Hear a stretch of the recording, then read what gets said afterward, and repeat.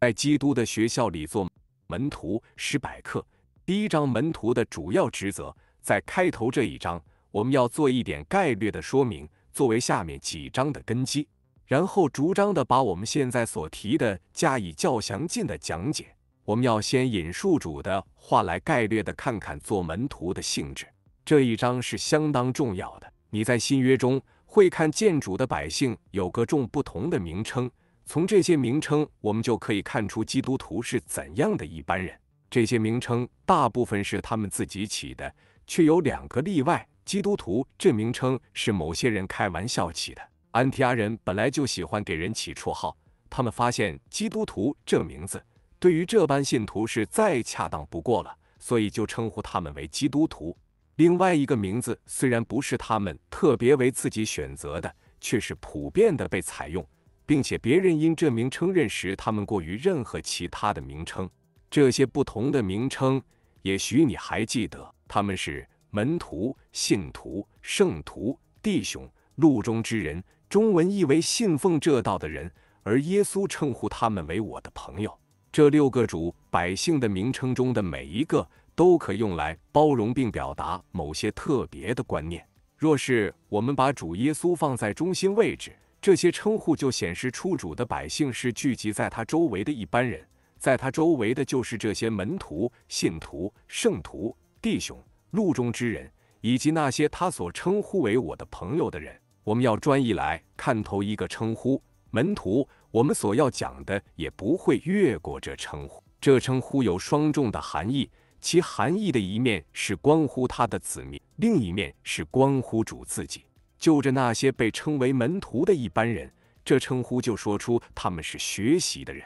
这称呼是来自一个希腊字，其意义为学习。不过它含着一种积极的要素，意指着某种不仅仅靠头脑的学习，也就是说，把所学得的付诸实行。所以门徒乃是一般学习的人，且把所学得的付诸实行。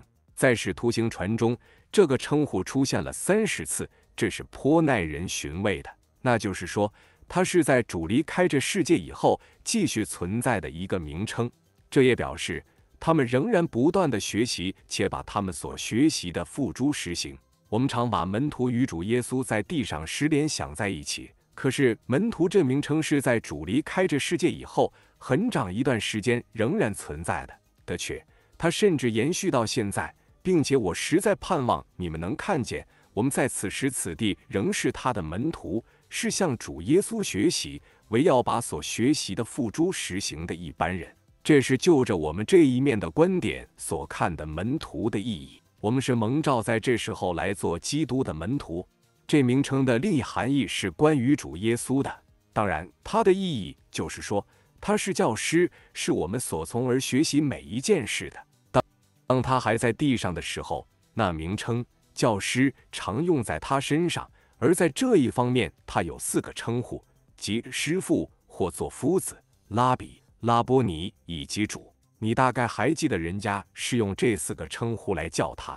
他们称呼他为师傅。尼哥底姆说：“我们知道迷是由神那里来做师傅的。”约三二节。但是他与所有其他的教师都不同，他不像一般学校的教师，因为他的教训是属灵的，而不是学术性的。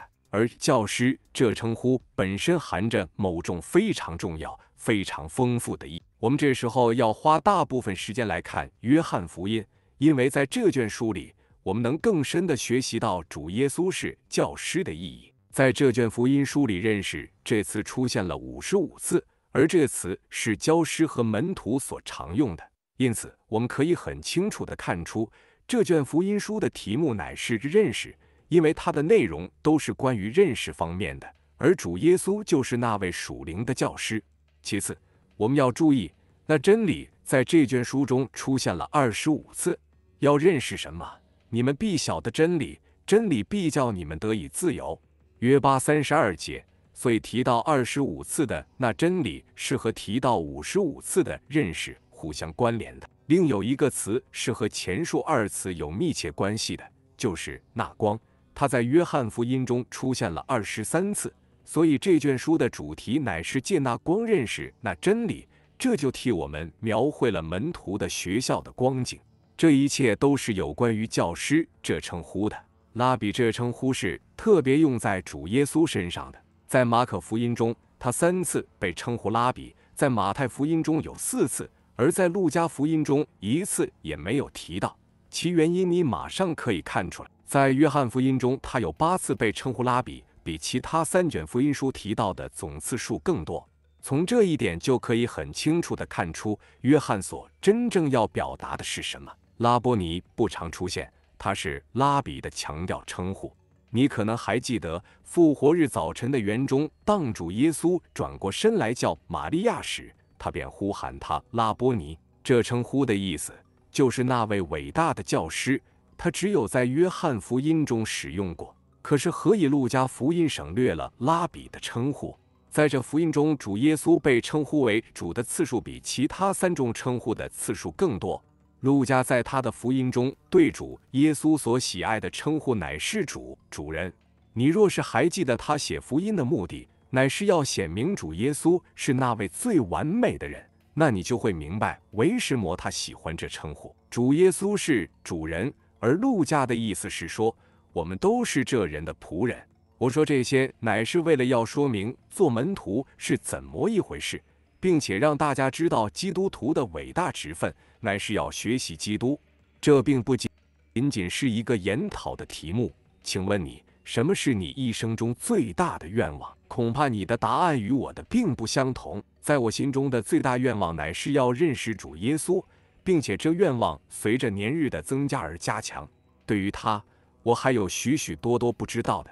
关于他，我常遭遇许多难题，并且这些难题根本不是头脑方面的，而是属灵方面的，是一些属于心中的难题。例如，为时魔主耶稣那样说、那样做事，他为时魔照着他所示的来对待我。他之于我一直是那魔深奥，而我是多么盼望能认识他。认识主耶稣是人一生中最重要的事。我们现在所说的，并不是一些新奇的资料，而是古老的。且是大家所熟识的圣经，可能有人想他已经十分明白约翰福音了。也许你真是如此，我可不是这样。我始终发现这卷福音包含着比任何我所知道的事物更深的真理和价值。我仰望主，使我们继续看下去的时候，我们都能明白这一点。前面所说的都是比较偏重门徒方面的，至于这位教师本身又如何呢？他教的是什么科目？每位教师都有他自己的科目，有的教神学，有的教科学，有的教哲学，或艺术，或机械，或各种其他的事物。而主耶稣的科目又是什么呢？我倒是希望你们现在都回自己的房间，个人在一张纸上写下自己的答案。我想，若是等一会念出个人的答案，那将是一件很有趣的事。答案乃是他自己。他自己就是他教导的科目，耶稣永远是他自己要教训的题目。他把每一件事都说到他自己身上。他说：“我就是道路、真理、生命。”约十四六节。我是好牧人。约十十四节。我就是生命的粮。约六四十八节。我就是门。约十九节。我就是复活。我就是生命。约十一二十五。另一，他自己就是他的题目。他曾经讲论过许多的事。但他总是把这些事引到自己身上。他对于父说了很多，我们也能从他对父的讲论中对父有所认识。但他总是从父说到他自己，也从他自己引到父。他说：“我与父原为一。”约十三十节。他对于圣灵讲了很多，但他总是把圣灵连于他自己。他对于人讲了很多，但他又是把人引到他自己。他喜欢称自己为人子。他对生命也讲了许多，但他总是把生命连于他，并且从不把生命看作他自己之外的东西。他对余光、真理和能力也讲了许多，但总是把他们连于他自己。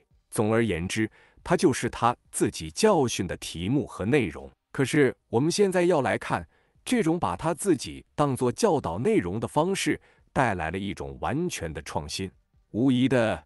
主耶稣开创了一个更新性的举动，当然，有些人不能接受他，因为他对他们来说太具创新性了。然而，却有人说，从来没有像他这样说话的。约七四十六节，有人曾经为他做见证，说他教训他们正像有权柄的人，不像文士。可一二十二节，他是带进了一种完全的创新，而这种作为世界他对自己的讲论，岂是他自己所带进来？他永远说到他自己，他也是在这世上唯一有资格这样做的人。因此，门徒的本分乃是要认识他，并且做他照他们去做的事。你们当负我的恶，学我的样式。太十一二十九节。耶稣自己带来属天的知识，并且在他里面，我们得以进入属天知识的领域中。他所说的，并不是仅仅止于字面上的意义而已，尤其重要的乃是这些所指明他是如何的一位。每一位真实的教师，并不重在说很多事情，而是重在当他讲说事情的时候，总是带着某些他自己的成分。你在学校的时候遇过各种教师？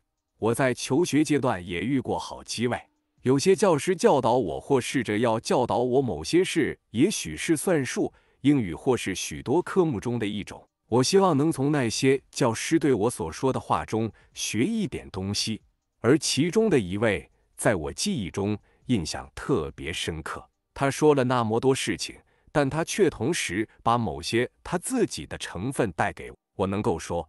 他不仅仅在讲课，他留下某种的印象，他把某些自己的东西留给我。我只能记得他，不是因为他教的科目，而是因着他自己。他在我的生命中影响了我。主耶稣就是这种教师，他不只是光讲论事情或某些课题而已，他的题材非常奇妙，正如我们看过的，就是父、圣灵、生命等等。但他在话语之外。还给我们更多的领受。当人们听过他的道以后，便说：“从来没有人像这人这样说话。”是他在他们的生命中留下某种的痕迹，以致他们走的时候就把某些东西带走了。后来圣经上有这样的话说，他们就想起耶稣的话来。路二十四八节，某些东西已经进入他们生命的深处，所以他们能说：“我不仅从耶稣学的某些真理。”而且在我的生命中，我还从我的教师的这某种东西，我已经被他影响。耶稣说：“我对你们所说的话，就是灵，就是生命。”约六六十三节，那就是说，他画的背后还藏着某些东西。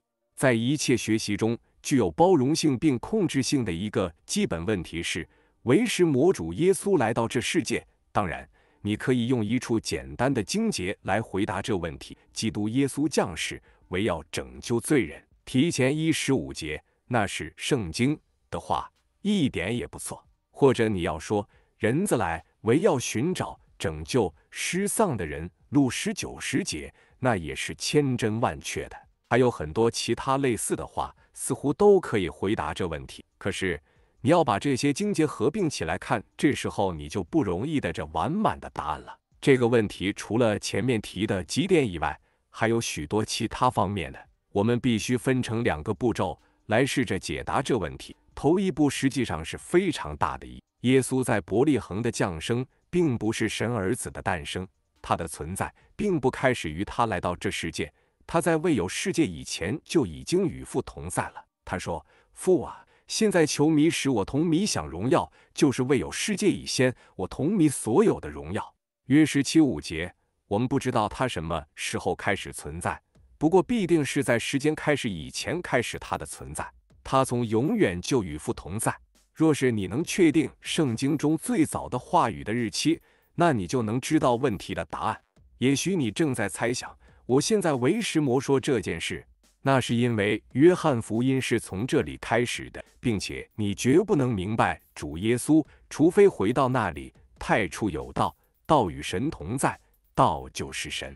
约一节，那是这卷书的教训开始的地方。哦，我们是已经进入一个非常大的学校，就是永远的学校。我们后面还要看如何把这件事应用到我们身上。但目前我们只需注意这件事：主耶稣来到这世界，并不就是他存在的开始。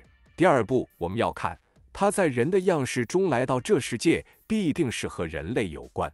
他并没有完全脱离他的神性，却以人的样式来到这世界，这就说出他的来到必是和人类之生命发生极密切的关系。这不是围着天使，乃是围着人类，他以人的样式来到人群中间，为要教导人。神是在基督里，却来成为人的样式，为要做工在人里面。不仅是围着人，而且是在人的里面做工。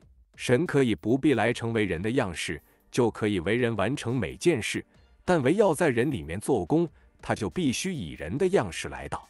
对于我们的问题，完满的答案是这样的：耶稣在他自己里面带来神所希望人类的着的，却从未得着。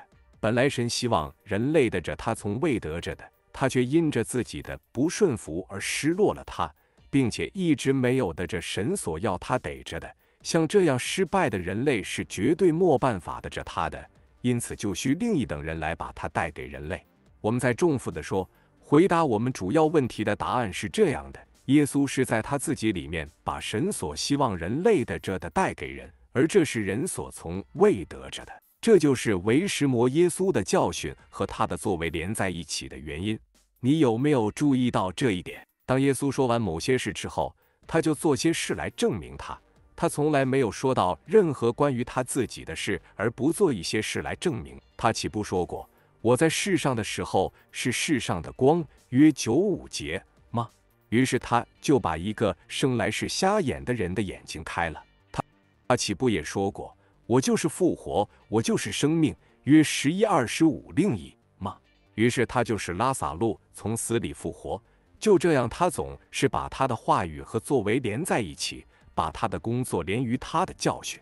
他不只是讲论，而是在讲论的同时，随着他的作为。这仍是他今日的法则，也是你我必须明白的。我希望这些日子我们就能有这样的学习，同时盼望不仅有话语，也有他的作为随着他的话语。在此，我们顺便提一件事，是非常有帮助的。在这位伟大的教师身上，有一些事是很不寻常的。你曾否注意他所拣选的门徒是怎样的一般人？为什么主拣选这一类的门徒？他们是怎样的人？他们不是当时一些伟大的学者，也不是具有大学学位的一般人。我想，我们可以说，大体上他们是一些拙劣的人，并且似乎脑筋迟钝。他们总是把他所说的话领会错了。或者不能抓住其中的要点，他们也常常忘记他对他们所说过的事情，以致他后来需要提醒他们，或者借着圣灵使他们想起这些事。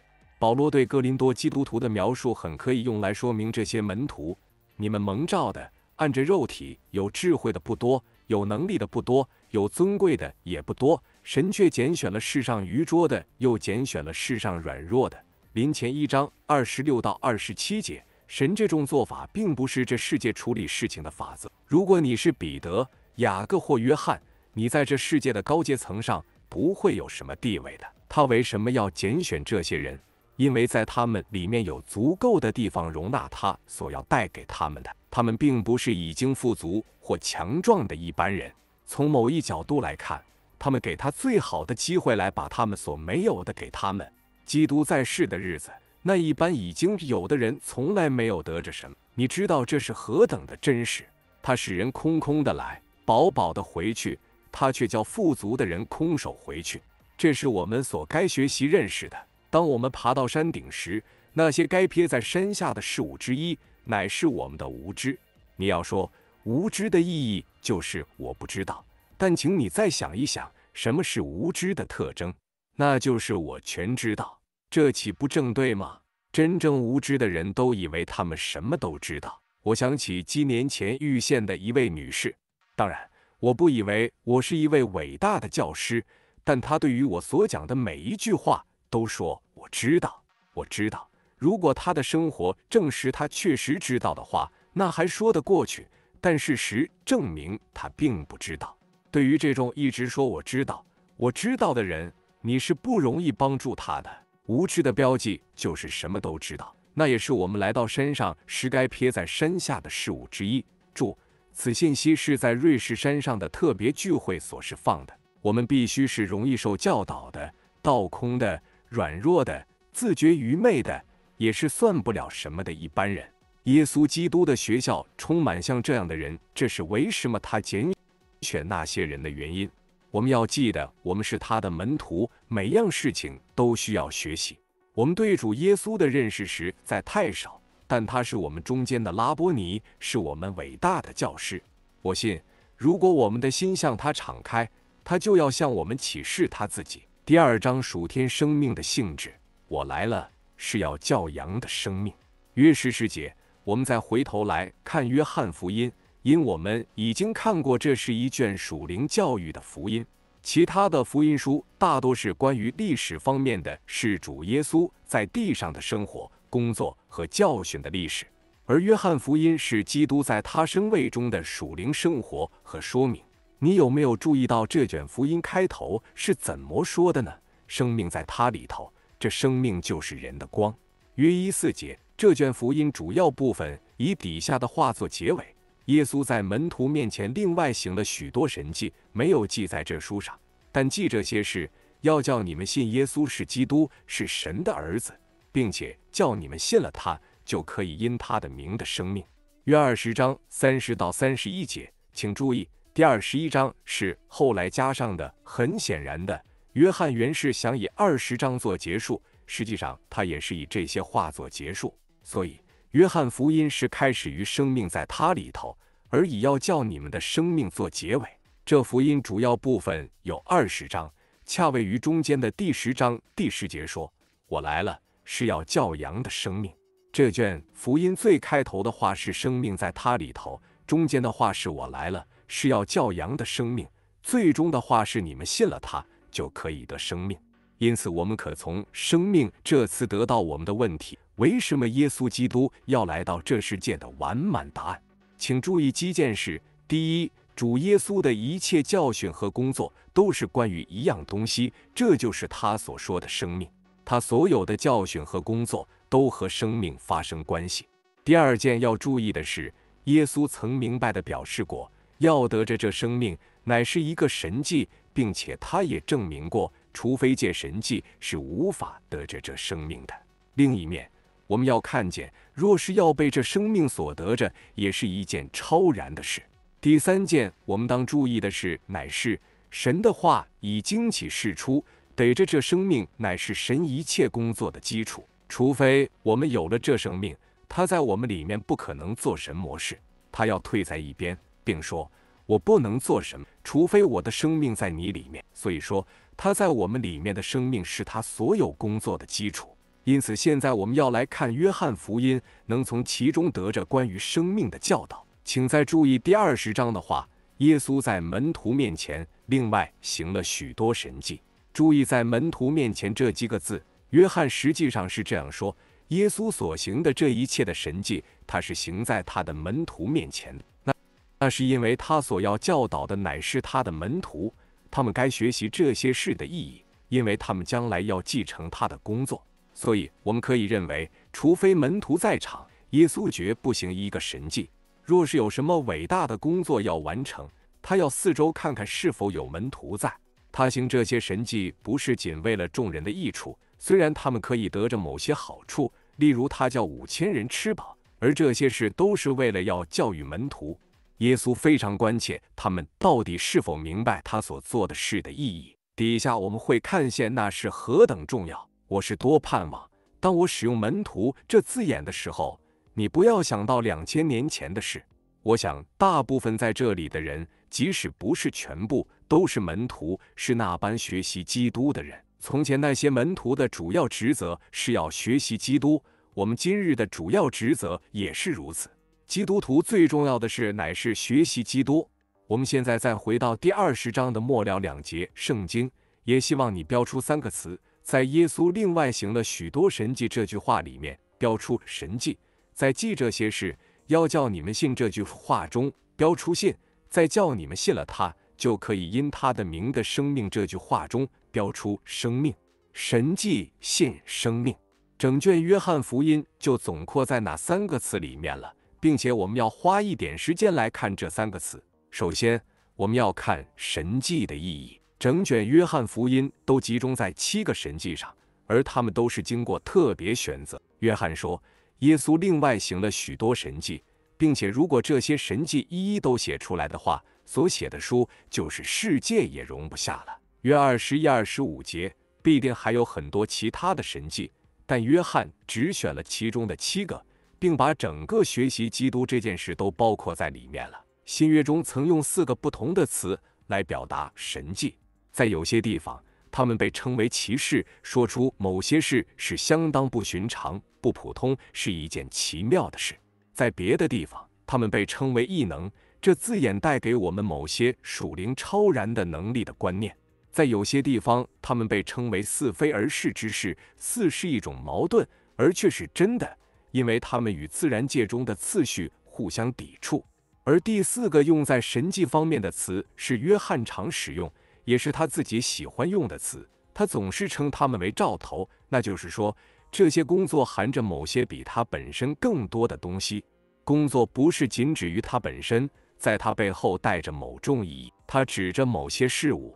的却有一个实际的工作，但它却带着一个属灵的意义，并且更是某些东西的兆头。那是约翰在神迹方面所使用的词。这件事我们暂时说到这里，底下我们还会再讲到它。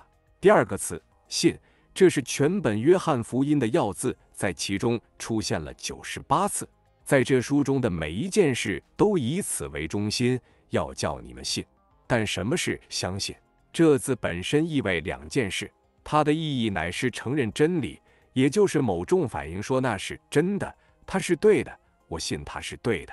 但它有更进一步的意义。希腊文这个字的意义是：当你相信那件事是真的时候，你就把你自己委身于说这事的人。在另一处，约翰以另一种方式说明它的意义：凡接受他的，约一十二另一。那仅是他们把自己交给他的另一种说法而已。相信不仅仅是一种心智的事情，他乃是把一生都委托于你所相信的那一位。我曾听过格里汉博士用一种很简单的方式说明他。那时我正坐在他后面的平台上，并且你晓得他是一个身材高大的人，他能把他的重量放于他所站立的平台上。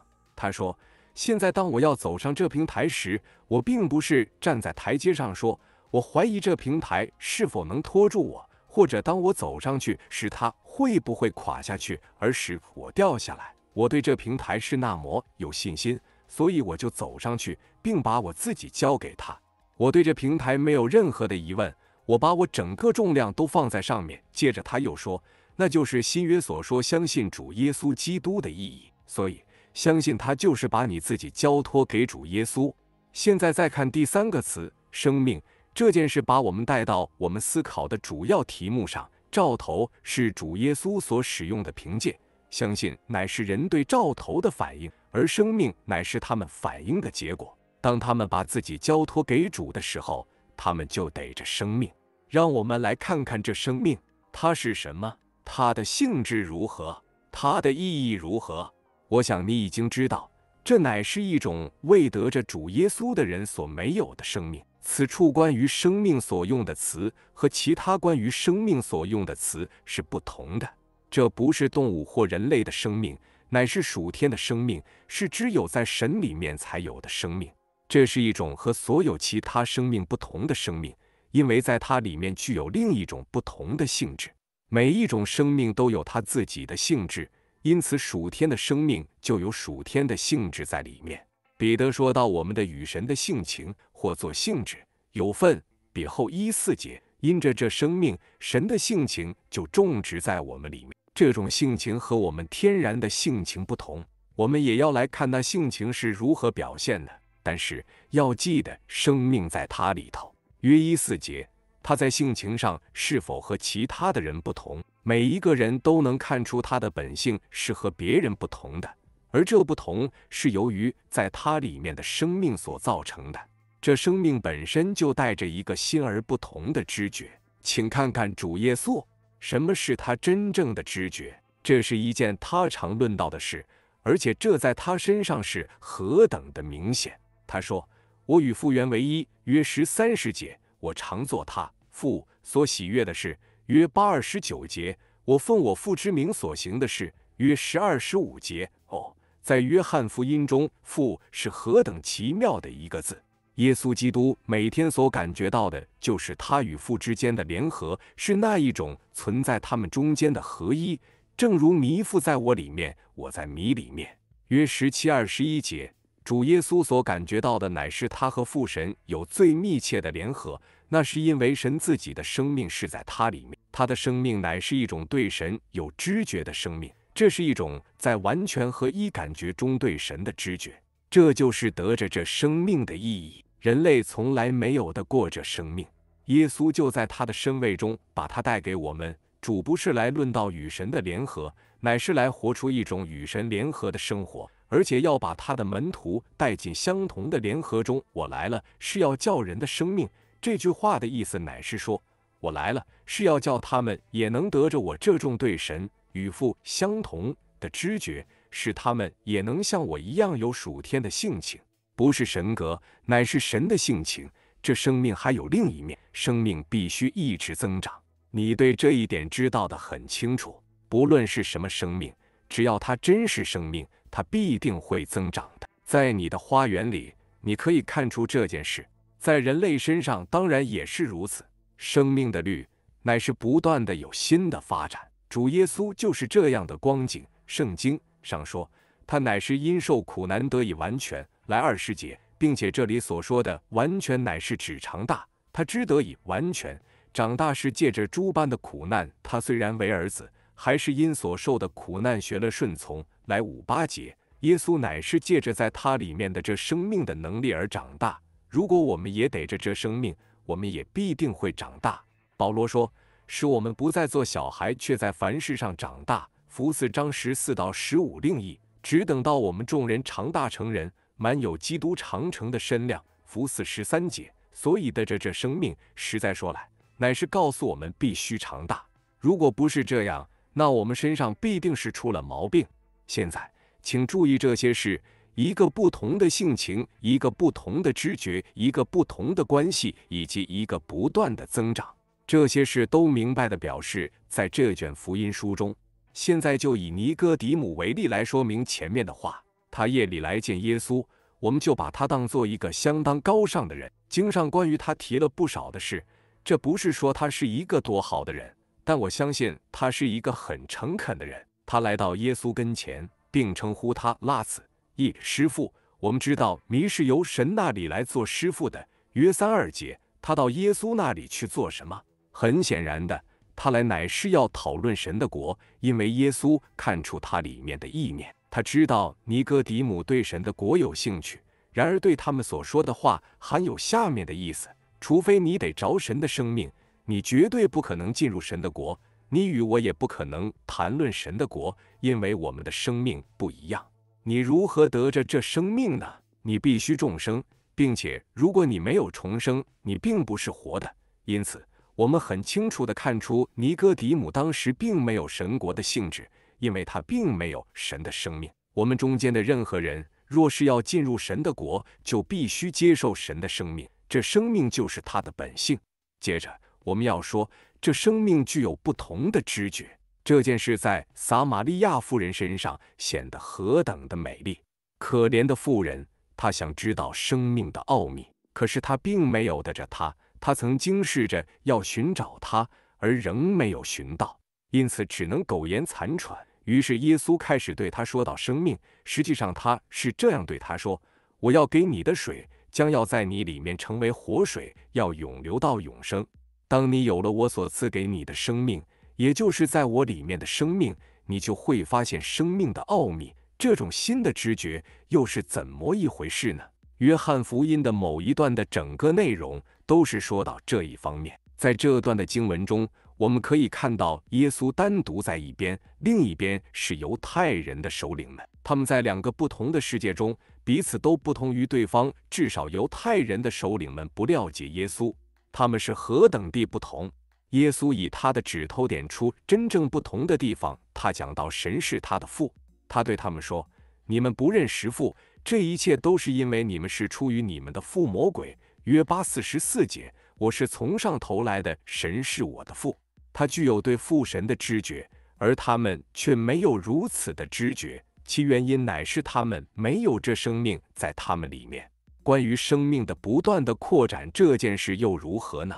在约翰福音第十二章中，也有一个关于这方面很美丽的说明。他说：“一粒麦子不落在地里死了，仍旧是一粒；若是死了，就结出许多子粒来。约十二二十四节，在复活中出来的新生命，使我们看见那个种子增加了一百倍。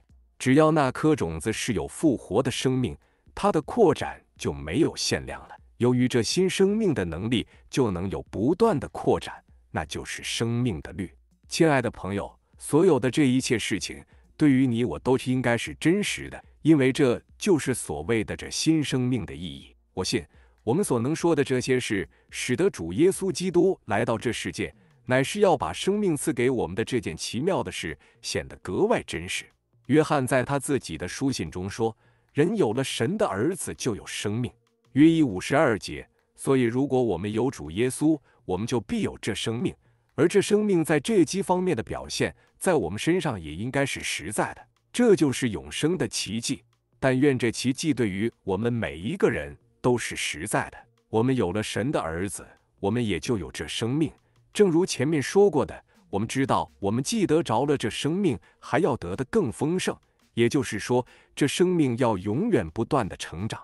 第三章属天生命的特性，我们已经说过。门徒一词希腊文的意思，乃是一个学习的人。但我要对这说法略加修正。福音书原来并非都用希腊文写的，马太福音是以亚兰文写的。在亚兰文中，“门徒”这词的意思并不是学生，而是学徒。因此。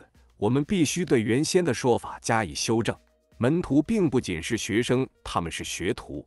主耶稣本身是一个木匠，因此他不会把自己的门徒当作学生，他多半把他们看作是一般学某一行业的学徒。你也许是工程方面的，或者是法律方面的一个学徒。一提到学徒，就表明一些相当实际的事；而说到学生，则较重在理论方面的。主耶稣绝对不希望他的门徒是理论化的，他要他们十分务实。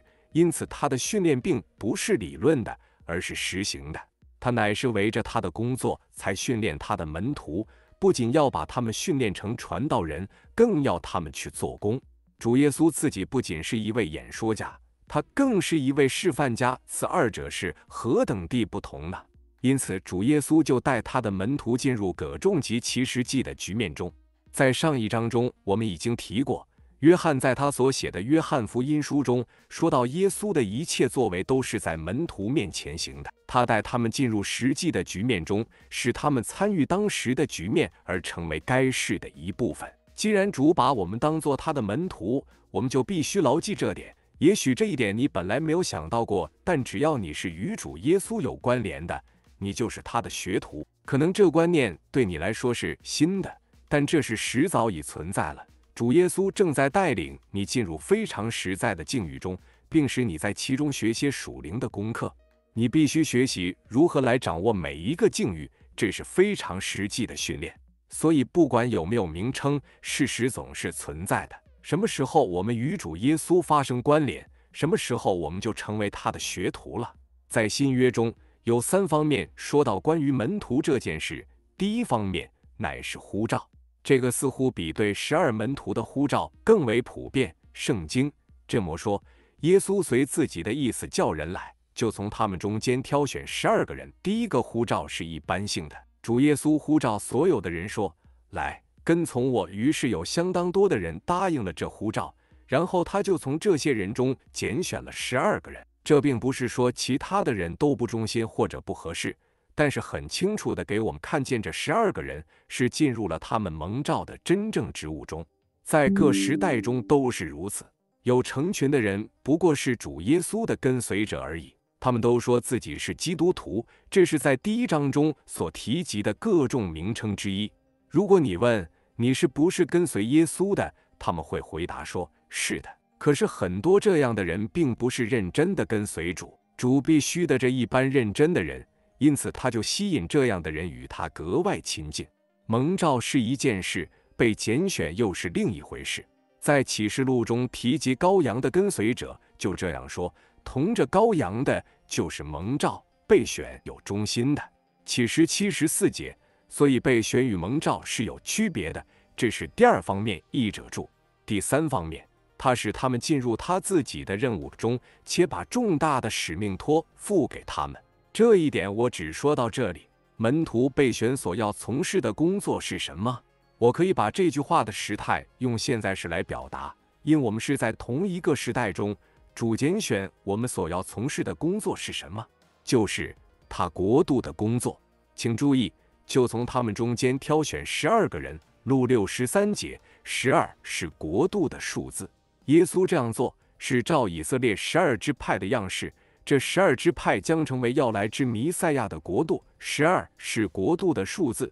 主耶稣来到这地上是要建立他的国度，并拣选门徒或学徒来从事那国度的工作。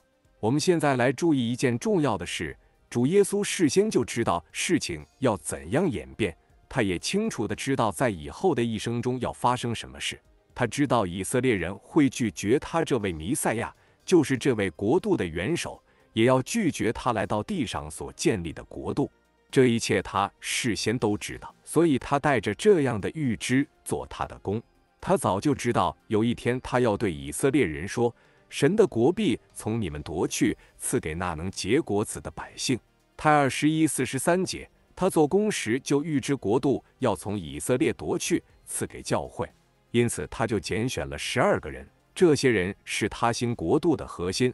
他们是这国度的代表，他们称他为主，他们到处宣告说耶稣基督是主。他们是一般由于神的启示而看见耶稣基督在神命定中之地位的人，他们已经看见神已经立他为主为基督了。图二三十六节，主耶稣是那位新的君王，他要建立新的国度。这与旧的以色列国有何等大的不同？后者是暂时的属地的国度。而前者乃是一个属灵的属天的国度。我现在不是要专讲国度，而是要指向某一目标而去的。他曾拣选人，现在还在拣选人来从事于他国度的工作。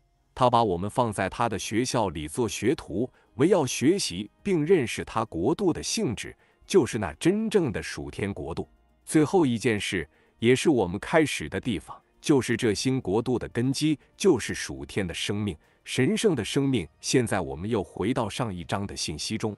当约翰在开头介绍主耶稣时说：“生命在他里头。”约一四节，在这本福音书的正中间，约翰引用主耶稣的话说：“我来了是要教羊或做人的生命。”约十十节，在此书未了总结时，他说：“叫你们信了他，就可以因他的名得生命。”约二十三十一节，正如前面说过的。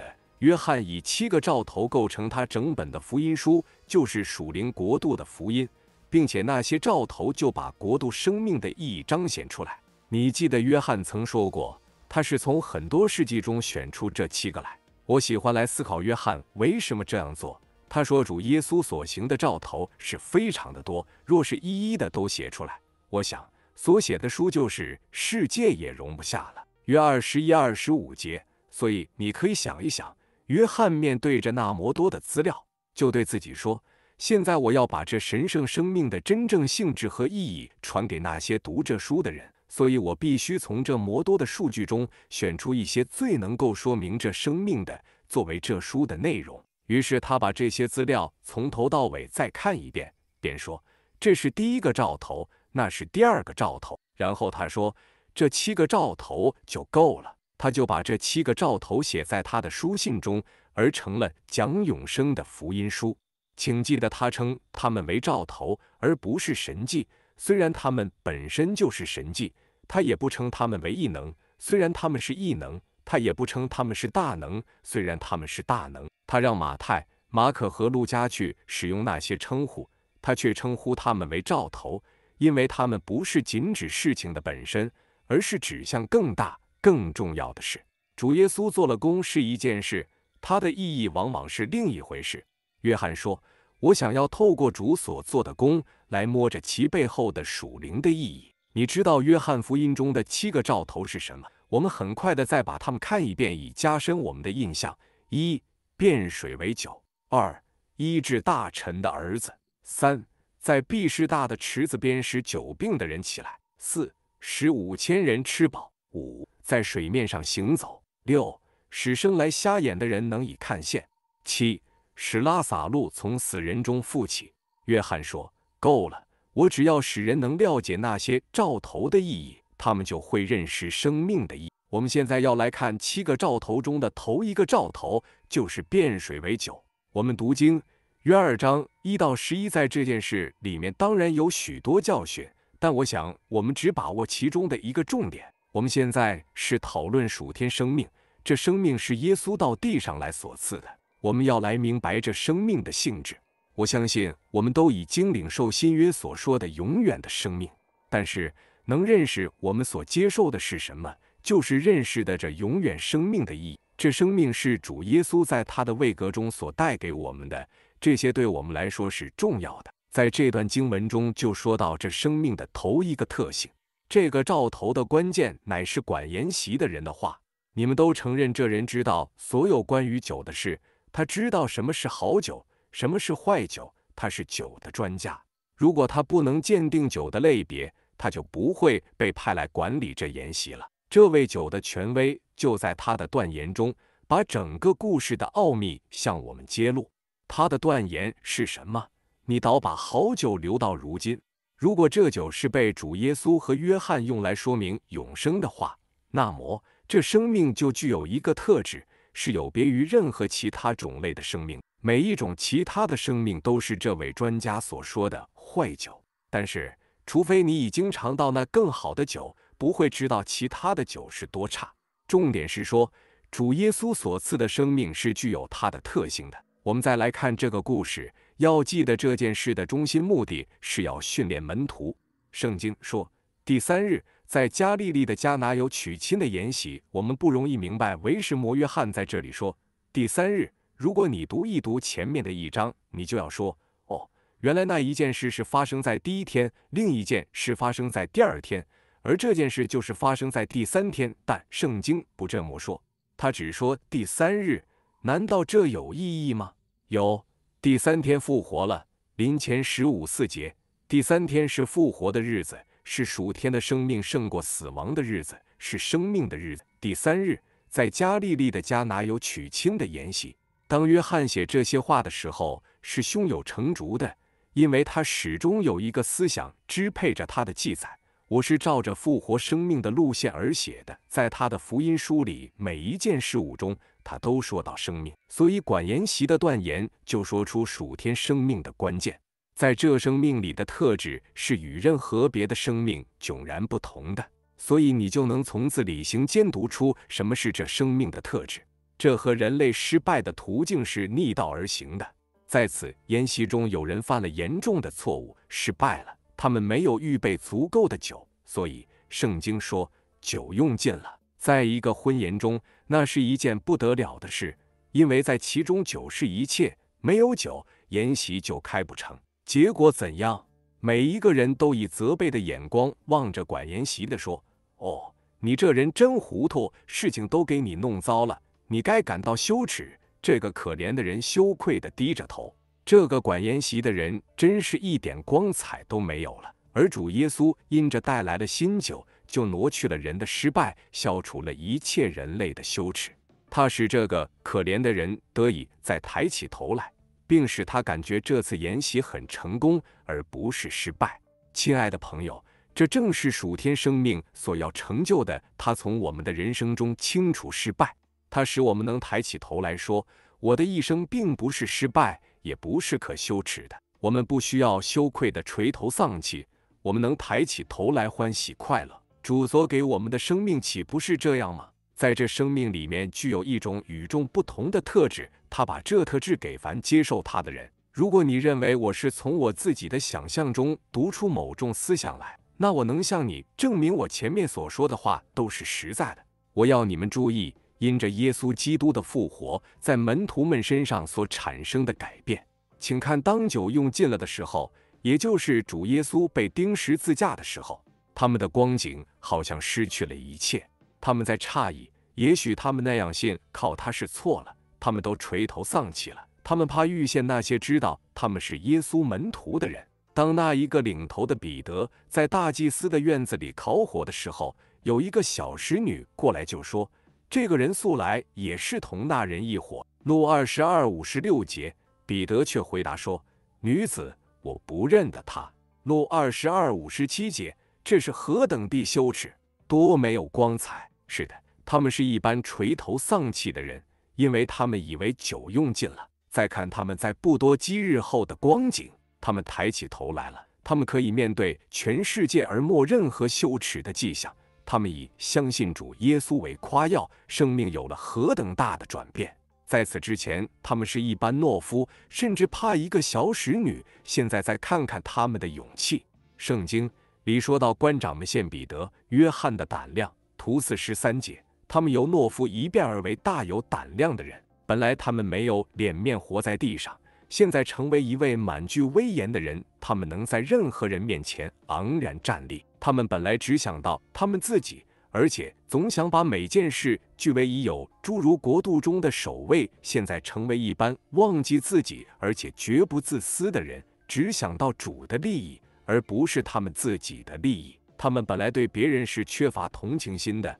当那个可怜的迦南妇人来到主身后，喊着求他帮助他女儿时，门徒就说：“这妇人在我们后头喊叫，请打发她走吧。”太十五二十三节，当主进了一个村庄，那里的人不接待他，门徒就说：“主啊，你要我们吩咐火从天上降下来烧灭他们，像以利亚所做的吗？”路九五十四节，也有做母亲的带他们的小孩子到主那里求他祝福，门徒们就要把他们赶走，在他们心中对别人没有多少的同情。再看现在他们的光景，当主复活之后。生命进入他们里面后，全世界都在他们心中，而他们的心也如同世界那么大。他们带着这个伟大的同情心，到各处去寻找罪人。从前，他们不能忍受任何困难，只要情况不太对劲，他们就准备要放弃。这话甚难。约六六十节，从此他们途中多有退去的，不再和他同行。约六六十六节，当情况变得艰难时。这十二个人也随时有放弃跟随主的可能。再看看他们现在的光景，什么是艰难？他们已经大过任何他们从前所知道的事。所有的官长们，整个世界，一切的环境，连撒但自己都与他们作对，但他们仍然前往。他们不会放弃，因为这生命把新的维持的力量，就是忍受的力量放在他们里面。所有这一切都是在这新酒里面。这生命本身具有一种特质，它使他们成为另一般人，是与我们天然的人完全不同的。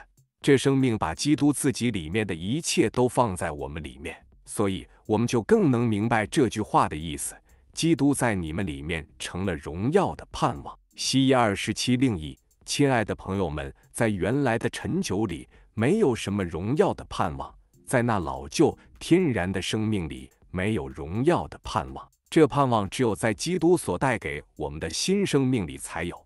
这生命就是主自己的特质。你看见，在他身上是有某种不同的情形。当官长们注视他时，在他们的脸上显露出极大的不解。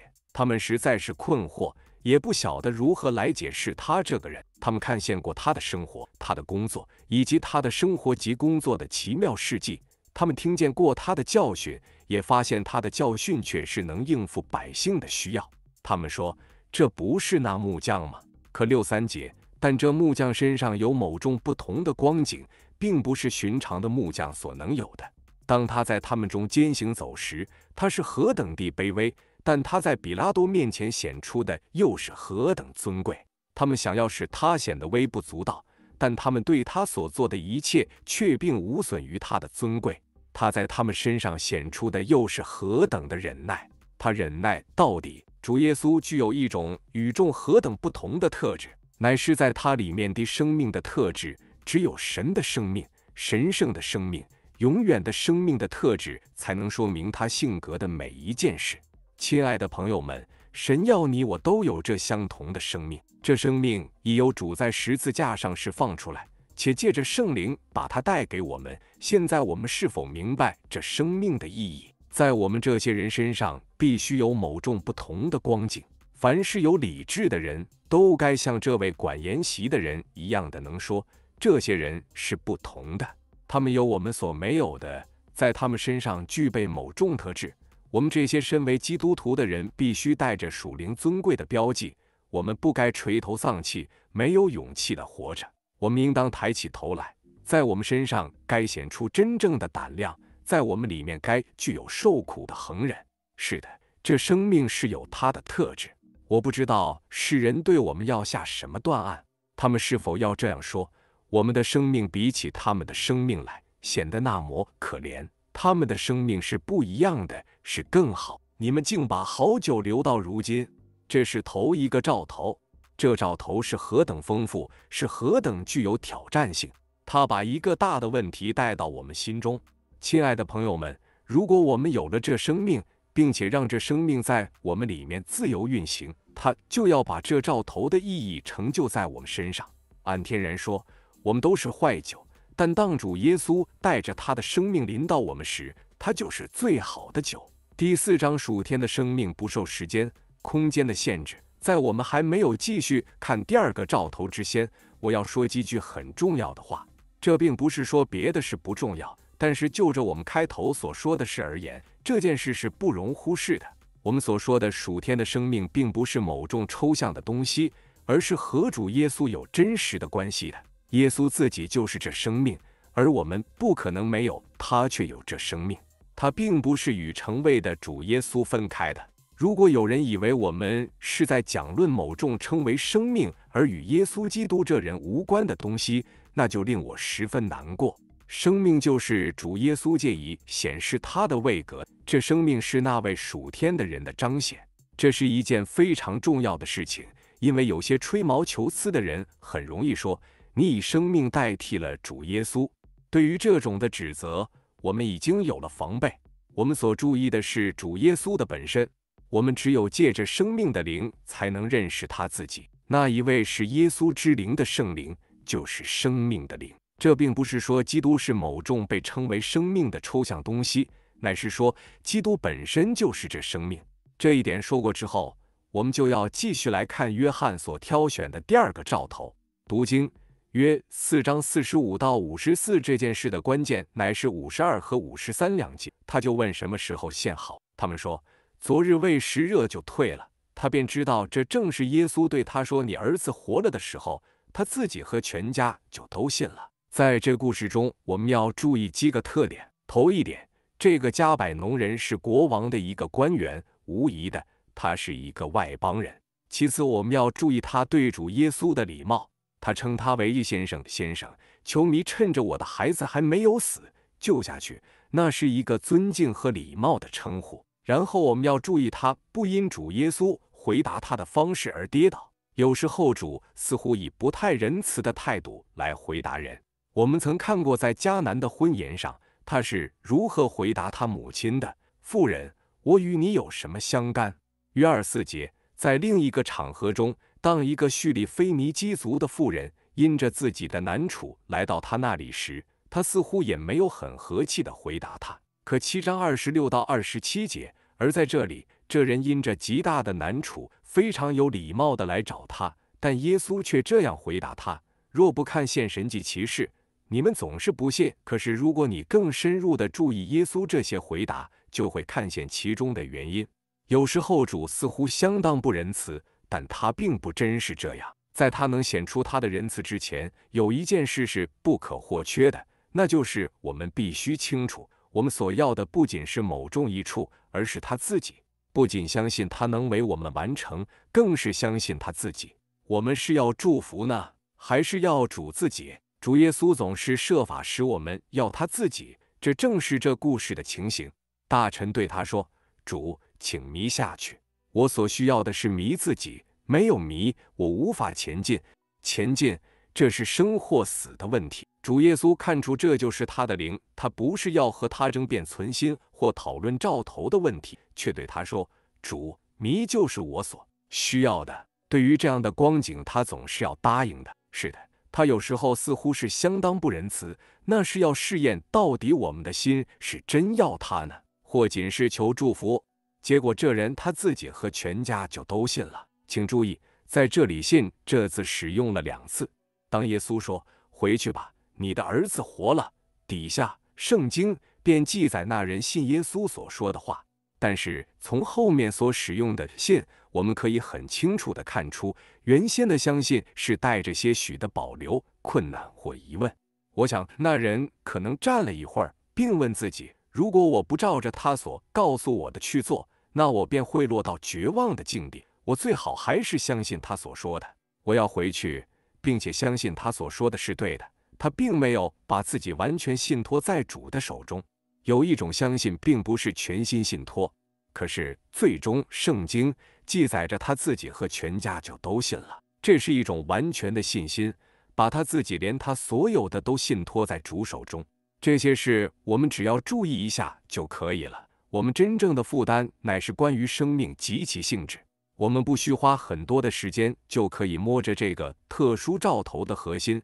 这是这个属天生命很重要的特点，也是非常简单的。请再仔细的看这故事。我们曾说过，五十二、五十三两节圣经是这兆头的要句。这是有关于时间的因素。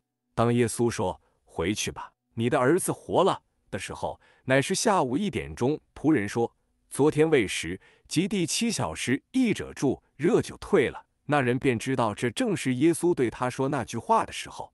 犹太人的白天是从早上六时开始，直到下午六时结束，因此第七小时便是下午一点。或许你会记得在福音书中其他的时间标志。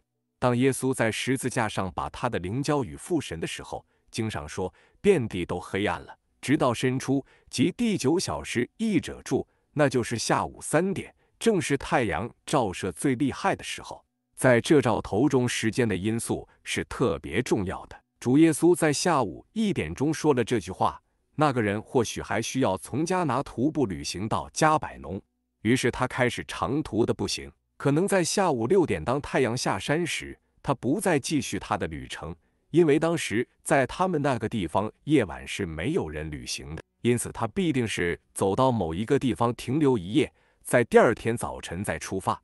于是他的仆人们前来迎接他，我们并不知道。这些主仆们相遇的准确时间，可是在他和主耶稣相会，以及他和仆人相遇的期间，包括了第一天的其余的部分及晚上，并第二天早晨。这两次的相会的地方有好多英里之隔，需要花相当多的时间和距离。可是生命在霎时间克服了这一切。当耶稣说了话之后，这一切的时间和距离就消失了。当耶稣说这句话的同时，在加拿事情便成就了生命进来。显然的，死亡在这孩子身上已经做了相当时间的功。在希腊原文中，形容这孩子的光景所用的字是属于未完全式的，也就是说，他越过越接近死亡，死亡已经逼近这孩子相当一段时间了。当这大臣到耶稣那里说。我的孩子快要死了的时候，死亡在这孩子身上的作为已近完成阶段，所以在这里除了地理因素之外，也有时间的因素。可是当耶稣说话之后，时间和地理就没有了。即使孩子是在六千里之外，甚至在金星上面，也没有关系。属天的生命是一个没有时间性的生命，它是永远的生命，因为是在神永远之子的里。正如我们所看过的。约翰告诉我们，所有的这一切都是要证明耶稣是神的儿子。我们怎能知道他是神的儿子？乃是因为他赐给我们永生。我们可以以此来试验其他的人，例如印度的护持神的第八化身，或者这世上的其他的偶像，看看他在半里外能否有这样的能力，并看看他要多长的时间才能完成这样的事。即使在现场，也不能做这样的事。但是我们今天在这里就可以享受在数百里或数千里之外的带导的益处。如果我们能认识一点主耶稣的同在和他的生命，那很可能是在于数里外有人带导的缘故。当然，那只是按人所能领会的方式说的。就主耶稣而论，是没有时间也没有里程的。只要他同在，便没有这类的事存在。他是神，而神的一个特性就是无所不在。在同一时间内，他是存在于每一个地方。这件事是我们可以试验的。我们为什么为那些在地球的另一边的人祷告？因为我们信主耶稣是超时间和距离的。那些正在经历死亡工作的神的百姓，可以因着我们在这里与主之间的接触而得着生命。可惜，我觉得我们这班主的百姓、主的教会，并没有充分的运用这生命的伟大效能。我们必须相信，在世界另一边的人和主亲近的程度与我们并没有什么两样，而我们到底和他亲近到何种程度？他比手更近，比呼吸更亲。无论他的百姓在哪里，他之于他们都是一样的。我说过，要摸着这兆头的核心问题，并不需要花很多的时间，但这是何等奇妙的一个兆头！主耶稣只要说一句话。所有的时间和距离就都消失了。这位大臣的信心摸着了主耶稣，主就把这信心引发了出来，也把这信心加以试验。他的意思是这样：你是真心的吗？你是否真的信靠我？或者你要的只是兆头和骑士？你真的相信我是谁吗？这一切都包括在这试验的里。当这人相信了主耶稣，虽然他信的不够刚强，但他接受了他的信心。只是一粒芥菜种那样小的信心，借着这个消除了如山一般的难处。这里的重点乃是信心永远是摸着主耶稣的，他摸着了神永远之子，他是全宇宙之神的儿子，也就是那位远超过一切时间和距离的儿子。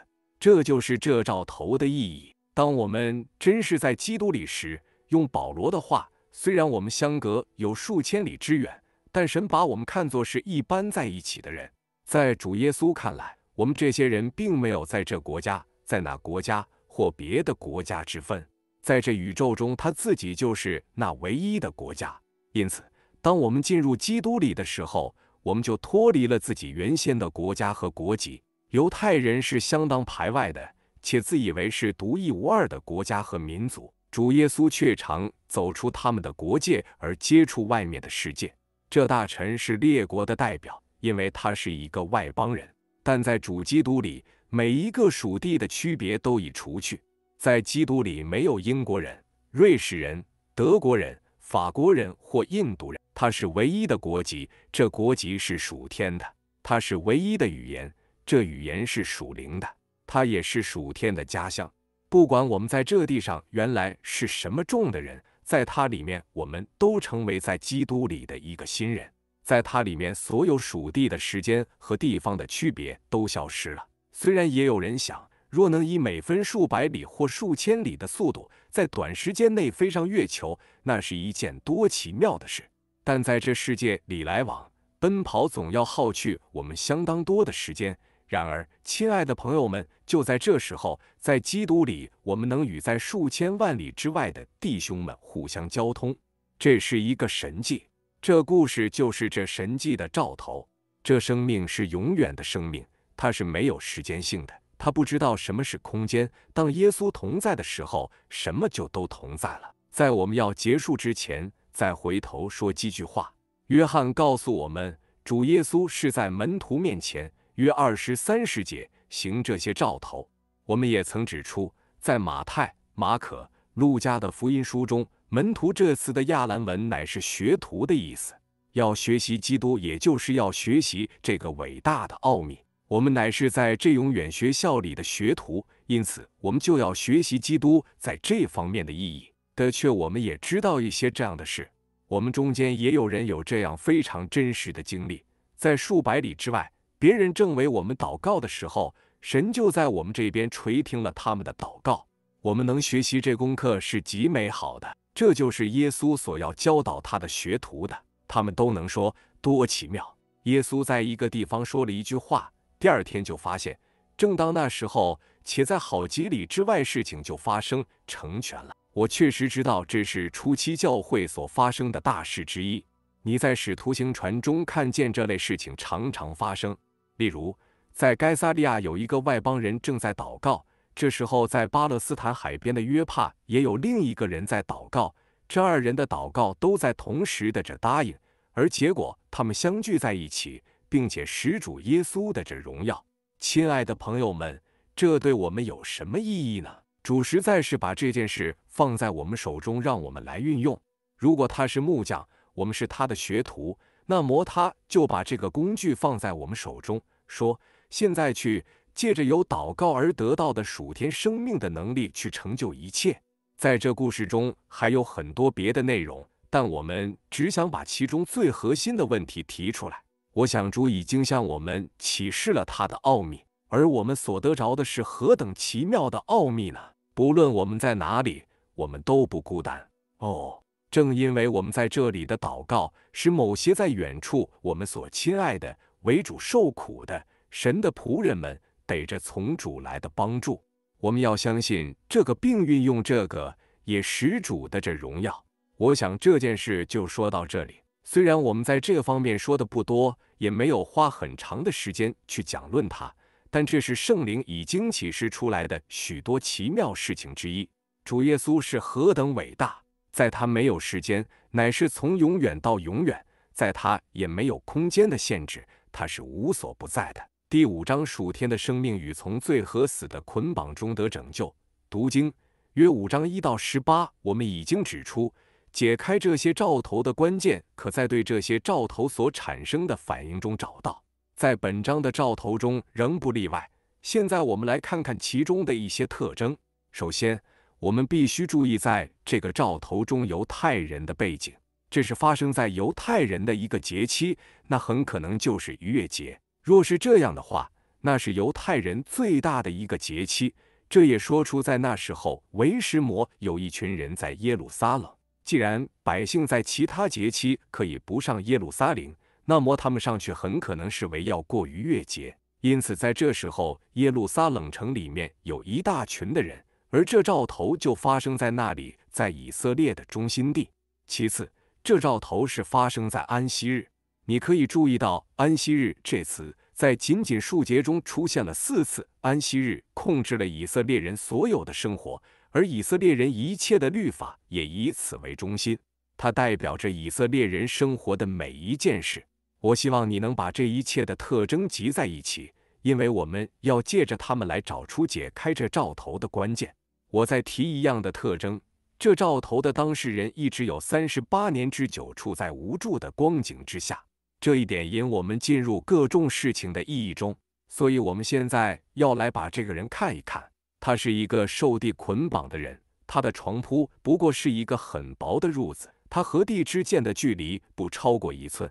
他是一个十足在地上的人，也是地的一个附属品，但他并不接受那样的地位。他与地以及他的处境一直挣扎了三十八年之久。我们不需花多大的力气，就可以具体的想象出这人的光景。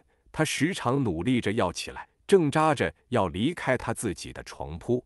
然而他不得不再次跌回到自己的床上。他常回到他原初开始的地方。每一次努力要离开那个床铺，结果总是又落回去。他是床铺的囚犯，那床铺是他的主人，而他在其上是一个完全无助的人。本来以为能给他安息的东西，却一点没有把安息带给他。他就在这种光景中达三十八年之久，这足以表明那是多绝望的处境。现在我们还要来看看这人背景所代表的意义。你会看见为什么我前面要提及犹太人的背景？因为这是以色列人在律法之下三十八年在旷野的一幅图画。从埃及出来的头一代，当他们到达迦南地的边境时，因着不信，就被命令转回旷野。在旷野，他们在律法的重担之下挣扎了三十八年。他们想要脱离他们的地位。却是不能，他们想要进入那地，却根本没有到达。如果他们自己的努力能使他们到达那地的话，他们早就到达了。但事实上，他们兜着圈子转，常常回到他们原先离开的地方。律法的褥子只是使他们认识肉体的软弱，他没有给他们安息，他只是让他们看见他们是多绝望的一般人。凡是认识新约圣经的人。在此都会想起罗马书，特别是第七章。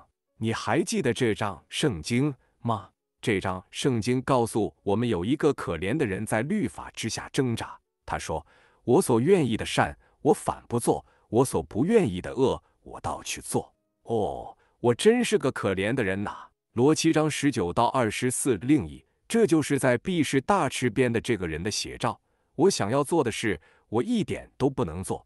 我不想做的事，留在褥子上，却是一直在做。哦，我真是个可怜的人啊！谁能救我脱离这取死的身体呢？我们再回头说到以色列人，你当记得希伯来书常把应许之地称为神的安息。圣经说到，从埃及出来的第一代以色列人绝不能进入他的安息。这样看来，必另有一安息日的安息，为神的子民存留。来四九节，应许之地乃是基督在天上的一个表号。基督从死人中复活。当约旦河水漫过两岸时，以色列人必须过这河。约旦河水的涨溢乃是死亡的表号，他们必须经过死亡，进入复活的境地，然后神才吩咐约书亚要他上去的那地。这说出复活与升天，说到基督在天上，他已胜过了死亡，并且他的子民也与他一同在那里。正如保罗所说，他又叫我们与基督耶稣一同复活，一同坐在天上。福二六节，在新约圣经里，我们是处在哪一卷书的地位呢？不错，是在希伯来书里。不过，毕士大池边的这人很清楚的把我们引到另一卷书加拉太书。你必须把整卷加拉太书应用在约翰五章一至十八节的经文中。什么是加拉太书的信息？首先说到律法的捆绑，以及律法并不能成全什么，反而把每一个人带进捆绑之中。他告诉我们，那些在律法之下的人都是受捆绑的。使徒说，在下的耶路撒冷和他的儿女都是受捆绑的。加斯二十五另译，那就是在耶路撒冷这可怜的人的所在地，他就是在这在下的耶路撒冷的捆绑中。因此，加拉太书首先是说到律法之下的捆绑。加拉太书第二件是说到在基督里儿子名分的灵。此书信重要的词乃是儿子与圣灵。我们因信耶稣基督都是神的儿子，这就是在基督里儿子的名分，而这儿子名分的灵就是圣灵。我们再回到约翰福音，并听主耶稣说：“所以天父的儿子若叫你们自由，你们就真自由了。”约八三十六节，你们必晓得真理，真理必叫你们得以自由。约八三十二节，什么是叫我们从律法的捆绑下的自由的真理？那就是指我们在耶稣基督里那伟大和荣耀的儿子名分的真理。请你再看加拉太书关于自由的思想，在基督里的自由这次书中提到十一次，比在其他个书信中出现的次数加起来还多。基督是放了我们，叫我们得以自由，所以要站立的稳，不要再被奴仆的恶邪制。加五一节，还有。弟兄们，你们蒙召是要得自由。加五十三节，这就是因信耶稣基督而有的神儿子们的自由。请再注意，基督这名字在加拉太书中提了四十三次，这是相当特别的。若是说此书说了许多关于律法和自由的话，那么关于基督所说的话更多了。律法在基督里已经不再能捆绑人。他一切的锁链已经因着神的儿子们而被打破了，他们借恩已经的自由，基督已经使他们得以自由。我不知道约翰是否想到这一点，但我实在看出许多存在约翰心中的意念，常是我们所没有注意到的。例如，为什摩当约翰说到必是大池子的时候，他还说在那里有五个狼子呢？这是否像艺术家在他的画上多加一笔？是的。约翰是位文字的艺术家，而圣灵是借着约翰来写这件事，并且五是恩典的数字。不管在圣经中的哪一个地方，五总是恩典的数字。如果我们是正常的人，你我在手脚上都带着这个数字，并且我们的身体有五种感官。是的，每一个人都是由五所组成的，因为神要我们成为恩典的子民。这个可怜的人是在律法的捆绑之下。但律法本是借着摩西传的，恩典和真理都是由耶稣基督来的。约一十七节就在那里，在律法的捆绑之下，出现了神在耶稣基督里的恩典的见证。那么这是什么兆头？这是一个奇妙的兆头。这人是一幅真实的图画，代表着一切在律法之下的光景。主耶稣站着高声说：“凡劳苦担重担的人。”可以到我这里来。太十一二十八节，他这话是什么意思？律法的重担是压在那人身上，对他们来说，这却是沉重的负担。不止这样，法利赛人对摩西的律法又加上二千条以上的解释，告诉人说，摩西的律法并不是说你们只需遵守十条诫命，而是说你们需遵守二千条诫命，在他们一切为人的生活中，没有一点是不应用律法的，都是使他们感到为难的。而这一切都以安息日为中心。你在安息日不可铺床，你在安息日不可拿褥子，你在安息日不可以生火，你在安息日不可做任何事。你也不能行路超过三里。想想看，在生活。中竟有两千条的规定。他们每一日，尤其是安息日，所面对的一个问题乃是：你不可烦劳苦担重担的人，可以到我这里来，我就使你们的安息。太十一二十八节，到底发生了什么事使主发出这样的呼召？是因为主以自己代替了安息日，他不再是一周中的某一日，他乃是一位神圣的人物。如果基督复临安息日会看见这一点，他们一切的制度历史要化为乌有。不，主耶稣乃是神的安息日，他是神一切工作的归结。神在这位耶稣里面已经进入了他自己的安息，这就是为神的子民存留的安息，并不是一周或日历上的某一天，乃是一位神圣的人物，就是神的儿子。我们在他里面得以进入安息。并且从前曾经是捆绑我们的，现今却成了服侍我们的。在它里面，我们就能胜过一向所挣扎而难以脱离的。哦，是的，主耶稣就是那安息日。如果我们活在它里面，我们就不会破坏安息日。每一天都是将是我们的魂的安息的日子。哦，这真是主耶稣所完成的一件大事。现在请注意。主耶稣认为他为这人所做的乃是一件非常伟大并严肃的事。当他在圣殿遇着他时，就对他说：“你已经痊愈了，不要再犯罪，恐怕你遭遇的更加厉害。”约五十四节。现在再回到加拉太书，使徒说：“你们向来跑得好，有谁拦阻你们？”加五七节。他的意思是说，你们正在回到，或者是冒此危险原先的捆绑中。你们听从那些想把你们重新带回捆绑的犹太教师。如果你们真回到那种地位，那你们幕后的境况要比先前更不好。从恩典中坠落，要比从来不曾在恩典中更为悲惨。这就是神的话所说的遭遇更加厉害。哦，亲爱的朋友们，我们因信耶稣基督已经从整个律法的这释放，就让我们行走。且继续行走在我们的自由里。你们向来跑得好，那是比行走更好了。我们不要停止奔跑。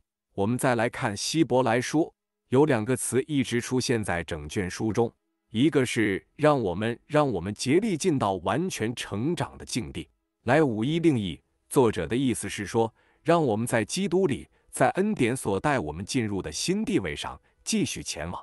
另一个在本书中经常出现的词乃是“恐怕”或“免得”，恐怕有人失了神的恩。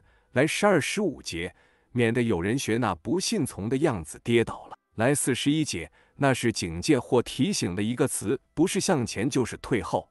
现在你可以看出来，这一切都是说明我们在基督里的生命。这生命使我们的自由，拯救我们脱离捆绑，带我们进入安息。并在我们面前展开了一个伟大而具有荣耀的展望。让我们听一听这个警戒：从此不要再犯罪了。我们若从恩典中坠落而重新回到律法之下，那就是罪。这就是从自由转回到捆绑的罪。经上说到，在旷野中的头一代以色列人，他们心里归向埃及。图七三十九节，主论到这样的一般人说：“我心里就不喜欢他。”来十三十八节。失去主的喜悦是一件何等可怕的事，那的却是罪。前面说的是关于这兆头黑暗的一面，但在必是大池边的这人身上所发生的事，是具有何等丰富的意义。我对于这件事所说的一切，并不是我个人的幻想，因为在此后的新约各处都证明那是真的。请再看看那些门徒们的光景，他们在五旬节圣灵降临之前是何等地失败。他们一直想要做对的事，却总是失败。他们也常想不做错事或讲错话，但却常常错了。你们岂不是常为他们感到难过吗？听听彼得对主说的话：“我要至死跟随你。”当然，那是一个好的决心，是一个好的心意。他实在是有这意思。但实际遇到试炼时，他能这样做吗？哦，不，他受他自己软弱的捆绑。但看看这人在五旬节的光景，他和其他的十一个人乃是一般被释放的人。哦，是的，他们是自由的人，不再有捆绑。新约圣经一直启示这个在耶稣基督里从一切的捆绑中得释放的奇妙真理。约翰选择这个兆头是对的，圣灵选择他是十分正确的。他知道在这兆头里的一切奇妙恩典的教训与实际。你要痊愈吗？这就是得痊愈的意义，从律法捆绑的国度中被救出来，而进入主耶稣恩典的国度中。我盼望这个能摸着你的心，而不仅仅是一些有趣的教训。哦，我确信，如果你在灵里真的看见这件事，你必在你的脸上绽出笑容，在你的心中唱出诗歌。你要唱出从律法中得释放，哦，何快乐！这就是这人所唱的诗歌。我想他并不知道我们的诗歌，但那就是他所唱的从那入子的释放。哦，和快乐！愿主带我们进入那在基督里自由的福气中。第六章全族与无穷尽的属天生命。耶稣说：“我来了，是要教羊的生命。”约十师节，保罗说：“我如今在肉身活着，是因信心而活，也就是在神儿子里的信心。”加二二十另一，现在活着的。不再是我，乃是基督在我里面活着。加二二世节，我们所要强调的就是“活”这个字，基督在我们里面活着。现在我们要来看基督活在我们里面，成为我们的生命这件事。我们也在寻求要明白那生命的意义和性质的某些方面。为此，我们正在详细查看使徒约翰所选择的七个兆头，他称他们为叫兆头。因为他们是具有某种意义的神迹，并且那意义才是重要的。我相信我们都知道这些事情都具有比我们所想象的更深入的意义。我们可以就着耶稣所行的这些神迹而下结论说，他行了些神迹。当我们再往下看时，便说他还在行神迹，然后再就着这些不同的神迹说，这是耶稣所能做的。当然，那样做并没有错。然而，在这些里面含着比其表面更多的东西，在每一个兆头里面都具有一个完整的生命教育，其中的每一个兆头都含着整个生命的一个奥秘。我们在约翰福音里面已经看过了其中的三个兆头，并且你可能已经看出这些兆头累进的性质。在加利利的变水为酒，显出这生命与其他生命不同的性质。耶稣所制造的酒和其他的酒全然不同，并且是更好的。在基督里赐给我们的生命，也是一个具有全然不同特性的生命。第二个兆头是医治大臣的儿子。我们看过，从耶稣而来的这生命是一个永远的生命，时间和距离对他没有权势。他在一个地方说话时，在许多里之外就有事情发生，时间和距离被摆在一边。这是超越时间的生命，那就是这生命的性质。这一点对老年人来说是一个非常大的安慰。我们的身体和心思都会变老，但在我们里面那基督的生命永不会变老。哦，这生命真是具有一个胜过时间的奇妙能力。其次，我们看过在毕士大池边的瘸子的医治，我们也看过这生命使人从捆绑中得释放的能力。这生命是一个具有荣耀、自由的生命。我想保罗的话能够彻底说出这人的经历。我已经与基督同钉十字架，现在活着的不再是我，乃是基督在我里面活着。加二十节这样的话应用在毕士大池边的这人身上，正合适。在这生命中有一个伟大释放的能力。在还没有开始讲到另一兆头之先，我们再略做一点说明。虽然这只是读经上的一个问题，但却是必须注意的。我们应当知道，在约翰福音里面，对于主耶稣的作为或他的教训，并没有按着顺序排列。有许多记载在其他三卷福音书中的事，约翰并没有提到，诸如他的教训、他的工作以及他去的地。因此，在约翰所记的事情之间，可能相隔着很长的时间。当你读这卷福音时，你会以为事情是一个紧跟着另一个发生的，其实并非如此。例如，第五章和第六章的开头就是如此。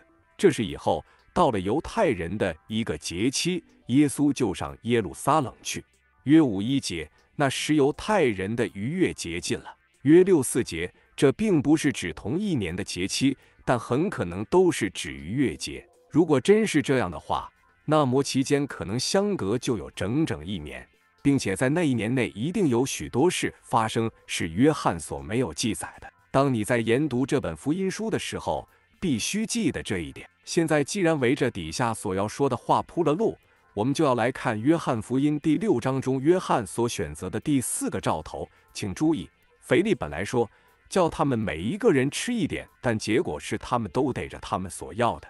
唯要明白这兆头的意义。我们要知道其时间和当时情况。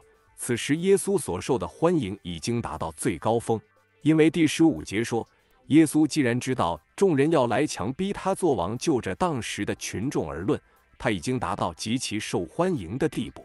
其次，他已经进入他执事的第二阶段，那是一个争论时期，官长们的敌意逐渐增加。他一面是受百姓们的欢迎，另一面却不受官长们的欢迎。紧接在此兆头之后，敌意立刻显明。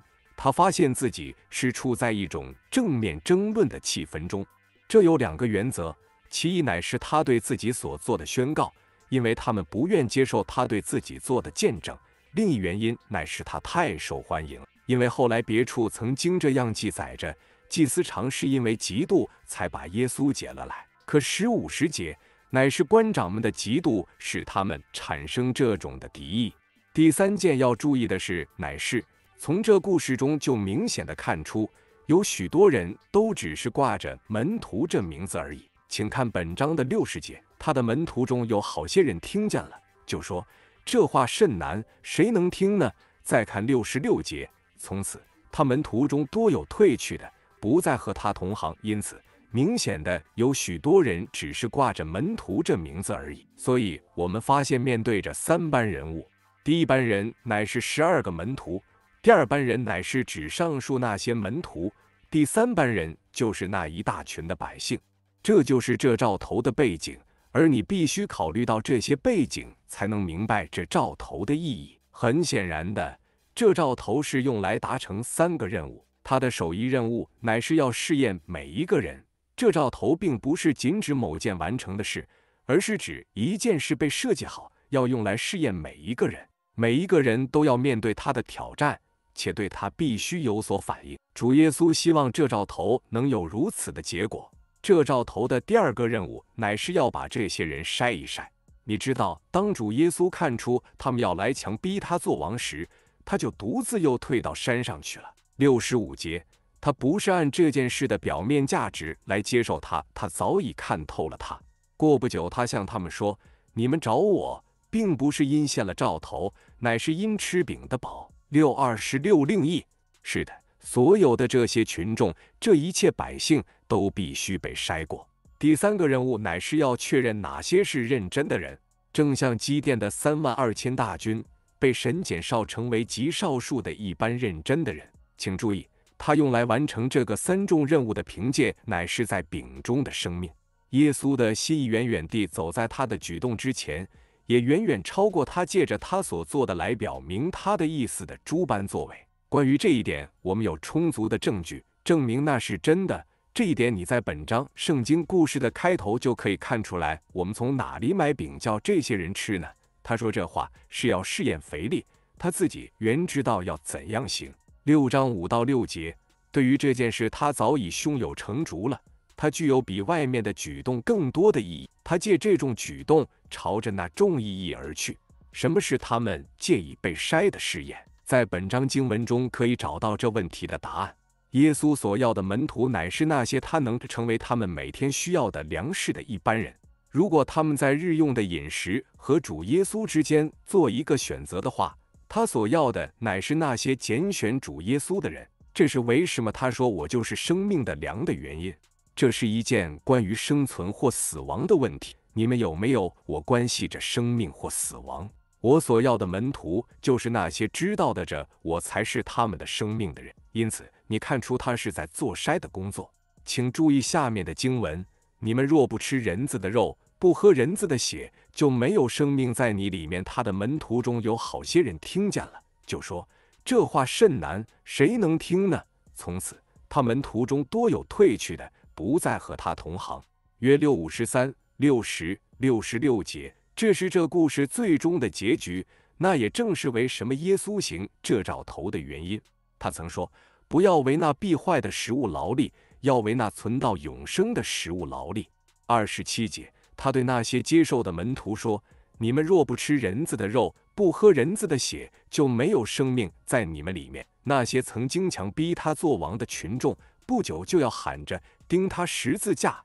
当耶稣受审问的时候，那些人的声音在哪里？那时候是相当安静的。不，他们还没有看见，在他们的生命中，他是他们所需要的。因此，他筛出了许多门徒，在那些接受的门徒和真门徒之间画出一条明显的界限。而当他们回答他说：“主啊，你有永生之道，我们还归从谁呢？”六十八节。这时候他已经得着了他行这兆头所要得着的人。你要注意，再次有三件事：其一乃是这兆头是关乎他到底是谁的问题，他们是否真看见他乃是从天上降下来神的粮。多数人之所以离去，是因为他没有看见。因此，若是我们里面能够得着耶稣基督的启示，对于我们的生命是何等的重要。就是这一件事。使得使徒保罗能够一直走到他路途的终点。哦，这位亲爱的弟兄所经历的艰难是何其多呢？想一想他所受的苦难，他所受的逼迫和他所必须面临的一切反对。想一想，在他一生的末了所说的：“凡在亚细亚的人都离弃我。”提后一十五节是什么原因使这人能得胜到底？答案乃是他自己所说的。神乐意将他儿子启示在我里面，加一十六另一耶稣基督在他里面的启示成了他的生命。我想我们能说这件事在彼得和约翰以及许多其他的人身上也是真的，对我们今天在这里的人也能成为真的。我们由于圣灵的启示得以看见耶稣是那从天上降下来神的粮，而外面的人如何需要天然的食物，我们里面的人照样需要它。这件事常可以从我们所拣选的看出来。例如，我们有一个机会可以使我们的属灵的食物，而同时又有机会或受邀请可得某些物质上的享受。那么，那些真实的门徒总是要说：“我所要的是属灵的食物，因为他对我比任何属天然的快乐更为重要。”这才是耶稣所期望得到的门徒，就是那些以他为他们唯一生命的人。这种情形可用他所用的一个词来表达，就是“若不你们若不吃人子的肉，你们若不喝人子的血，就没有生命。除此之外，别无选择。你找不到别的能代替这件事，只有这件事，否则什么都没有。或者说，就是这件事，否则就是属灵的死亡。是的，他要的是那些以他为唯一生命的门徒。有无数的门徒要基督，也要别的。基督对他们不是全族唯一的生命，而主就是要这一群挂名的门徒筛出去。他一直在做这样的事，他在新约时代就是做这样的事。那些临到早期教会的逼迫，乃是他用来筛出这种门徒的方法，并且历代以来他也用了许多的方法来做这件事。他今天也在做同样的事。哦，神在基督徒当中所进行的是一个何等厉害的筛的工作！这工作在东方已经开始，并且将要扩展到西方。西方世界无法免去他这工作。无数自称是基督的门徒的人将被显明他们的本相。因此，在基督所强调的这一点上，我们必须非常清楚而有把握。如果基督不是我们唯一的生命，我们将会离去，因为迟早在这试验跟前，我们要站立不住。但在末了。我们要说到一件较令人欣慰的事，这是是这兆头的奇迹。他在每一件事上都是从很小的地方开始。在我们的英译本圣经中有一句话，在这里有一个少年人九节，但希腊原文说，在这里有一个小孩，可能这小孩受他母亲诧异，带着一篮子的饼和鱼出去卖，以便维持他的生活。那些离家的群众就对他提供了一个很好做生意的机会。因此他尽量接近前面。他献上了他的货物，对于将要发生的事充满了好奇心。结果使他大为惊讶。耶稣把他的几块小圆饼和几条小鱼拿在手中，祷告之后，他就开始递给门徒。他给了，再给，再给，不断的给，直到那五千人中的每一个人都得着他们所能吃的，并吃饱为止。而且后来还有许多剩下来。耶稣所给的生命是何等的没有穷尽，他是没有终了，也不受任何限制。亲爱的朋友。这并不仅仅是某些我们用来说说的事情而已，它是非常真实的。也许我们会一再一再的像安德烈那样令人怀疑的乐观的人，我们可能面临一种的局面，并说哪里会有那么多的饼叫这些人吃饱呢？但主已经应付了那需要，并且永远是有多出来的。也许我们今天已经满了，但明天还有更多的。这一点是很实际的。如果你回到你自己的生活中，你就知道每天都有要求临到你身上，而且有时候这些要求可能是你无法应付的。于是你就说：“我不知道如何越过这难关，我也不知道如何应付这需要。”请你记得，你有生命的主住在你里面，在它里面有无穷尽的生命。你今天可以过得丰丰富富的，当明天来到时也是一样，直到你一生的最后一刻仍然一样。我求主耶稣使我们在这聚会末了时，他自己在这种方式这里的荣耀，就是求他使我越讲越丰富。这就是在主耶稣基督这人里面临到我们的生命的特性。但愿我们学习靠他而活。我所说的活，并不是光指生存而已，我所指的乃是按天然来说，我们绝不可能有的活。第七章胜过天然能力的属天生命。我们这些日子所注意的，乃是门徒训练的问题。下面的经文乃是这事的根基。耶稣在门徒面前另外行了许多神迹，没有记在这书上，但记这些事，要叫你们信耶稣是基督，是神的儿子，并且叫你们信了他，就可以因他的名得生命。约二十章三十到三十一节，耶稣在他的门徒面前行了许多神迹。约翰就从其中挑选几个，使做他门徒的人能相信，并因此得生命。因此，训练门徒最后所达到的境界乃是生命。我们已经看过约翰为此所选择的七个兆头，就是耶稣在他门徒面前所行的，是用来产生生命的。我们也是主的门徒，所以他也要以相同的方式训练我们，使得他对我们的训练所产生的结果，乃是他的生命。活在我们现在，我们来看这些兆头的第五个读经，约六章十六到二十一。这个故事并不长，却是相当完满，因为这是约翰从许多兆头中挑选出来的一个。他既然从那么多兆头中选定了他作为他七个兆头中的一个，他必定认为他是非常重要的。请注意，这件事是单为门徒而行的，因为当时群众都已经离开了。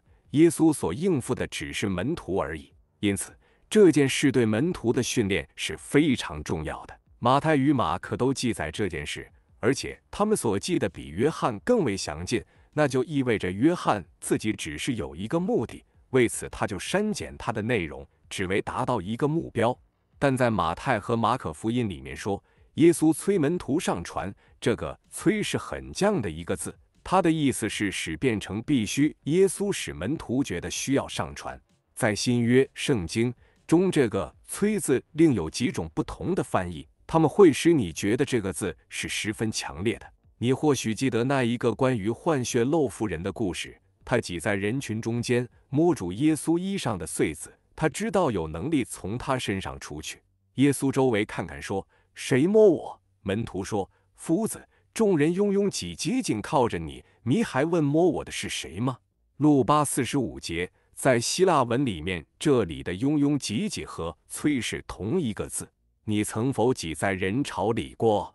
当你挤在一大群人中间时，你是多么办法？如果人潮是向着某方向，而你要朝另一方去，是非常困难的。他们催着你朝着他们的方向而走，因此你看得出这是一个强烈的字。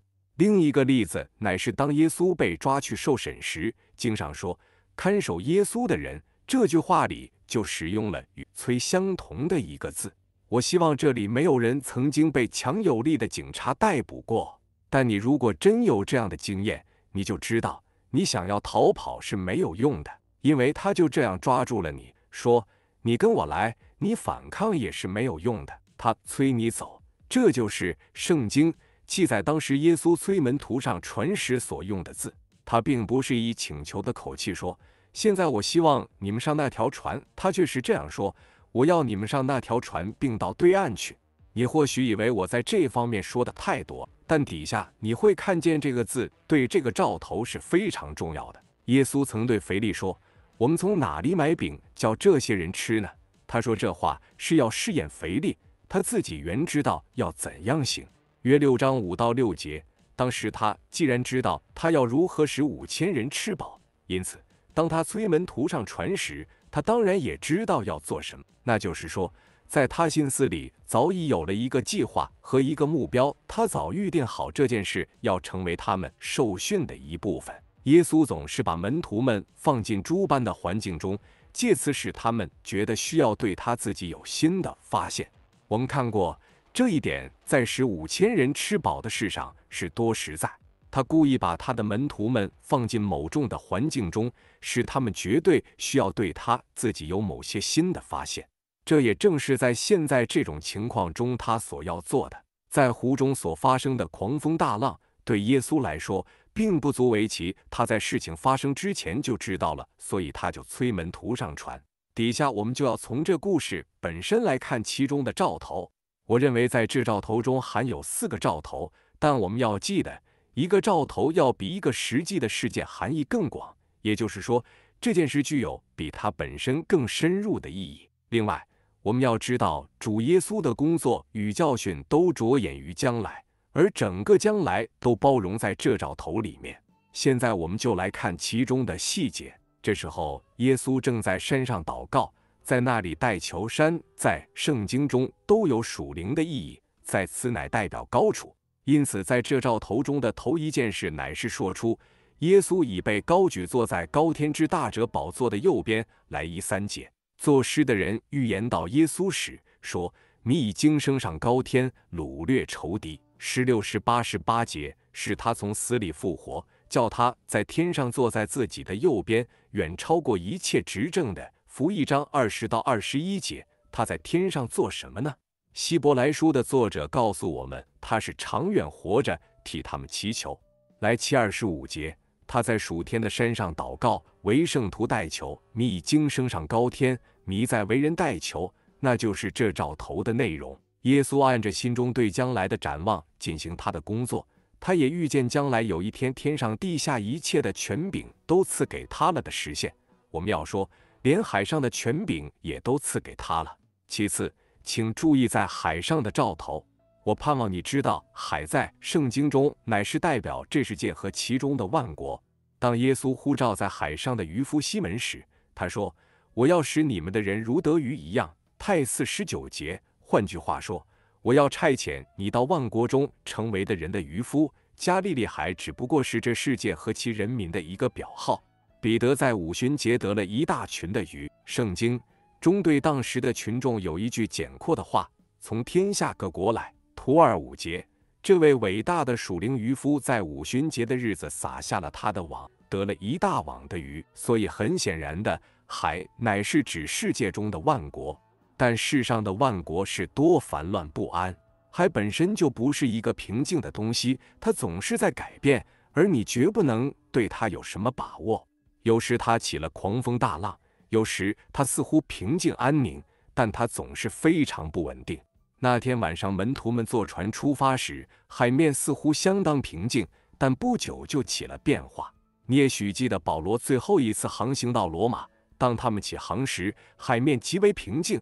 但不久，照样起了很大的变化。海的改变实在太快了。世上的万国是何等的烦乱不安，整个世界的局势也是何等地不稳定。或许这世界从来没有一个时候像今天这样的动荡不定，万国都在一片喧嚣的光景中。耶稣就这样故意叫这些人进入海中。前面所说的就是海的兆头，或是海的意义。狂风又说出什么？什么是这狂风的兆头呢？他说出有一阵大风在吹着，忽然狂风大作，指邪恶的势力横行在这世界的万国中，空中满了这些邪恶的势力，而这些势力像风一样的引发诸般的事物来反对神的百姓。这种光景在今天比以前任何时代更为实在。这是一个何等强劲的风吹向着神的百姓！在许多国家中，像苏俄、中国、刚果以及许多其他的地方，邪恶的势力正在反抗着主的百姓，挑起事端来反对他们。但我们不需亲自去这些国家，就能证明这种光景。如果我们是主的百姓，我们就都能觉察出反对我们的邪恶势力。是的。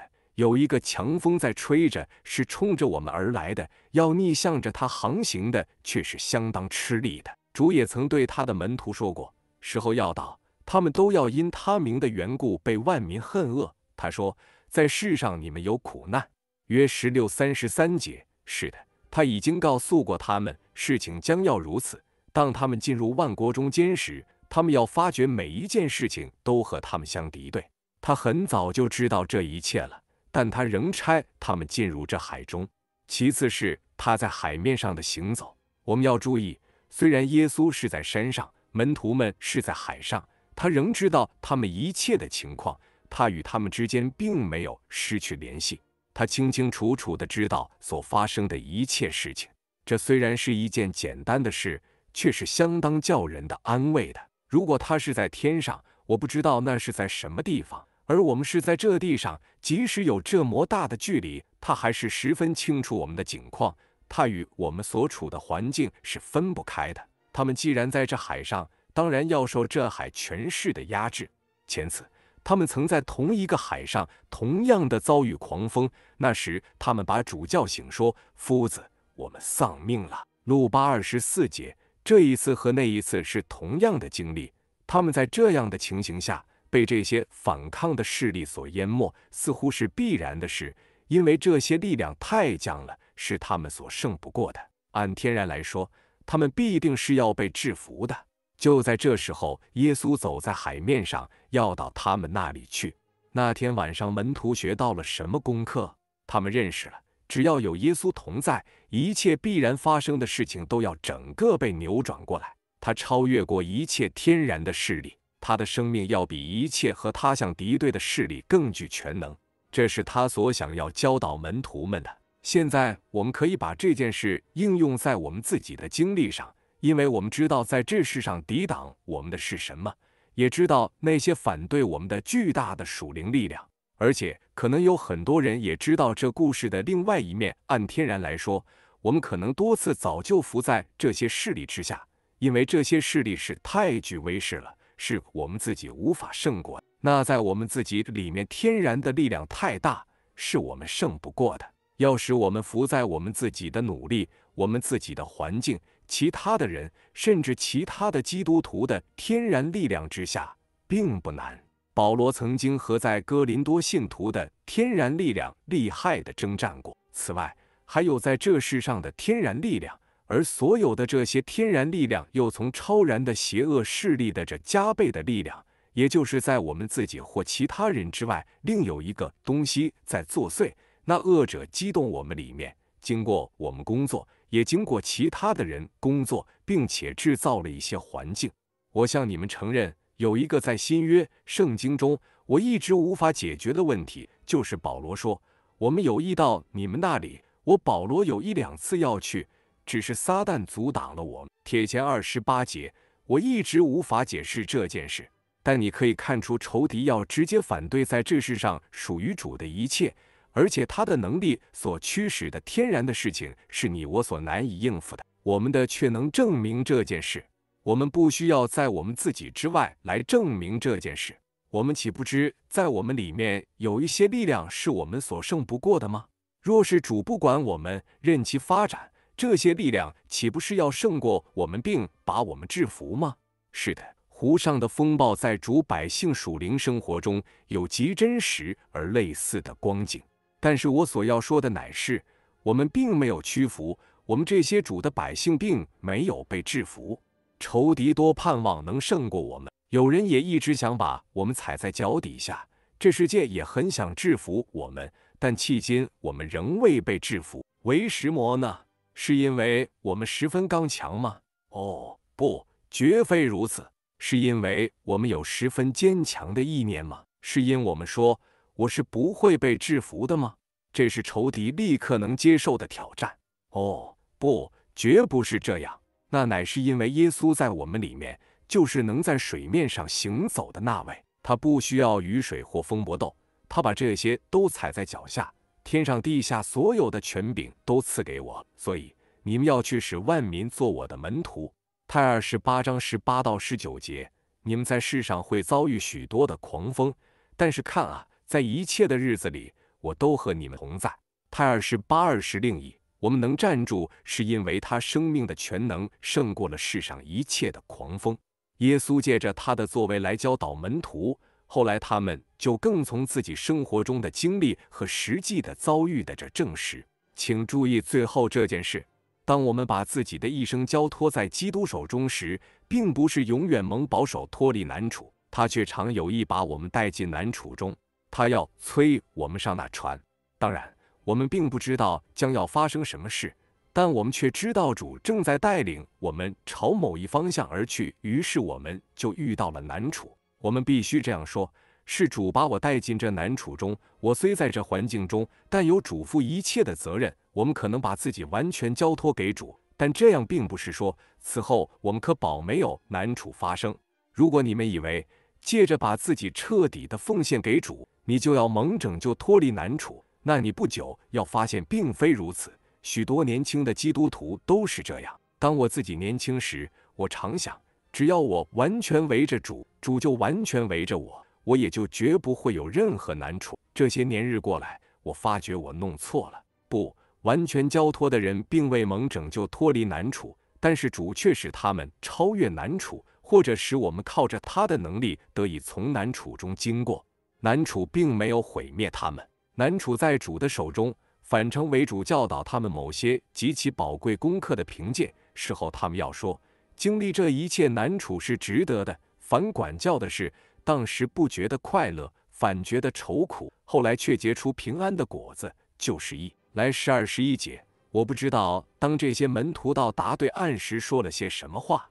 我想，若是有机会在一起交谈，他们会说：“哦，这是多可怕的经历。”我当时真不知道将要发生什么事，但我对基督的能力学了一个伟大的功课，就是把世上任何东西给我，我也不愿失去这经。因此，我们的属灵教育乃是在于“必须”这个词，因为它是“催”字的真实意，它使门徒必须上船，而我们也必须有这样的经历，因为唯独借着这类的经历，我们才发现我们所得着的是何等的一位基督。神所赐给我们是何等奇妙的永生！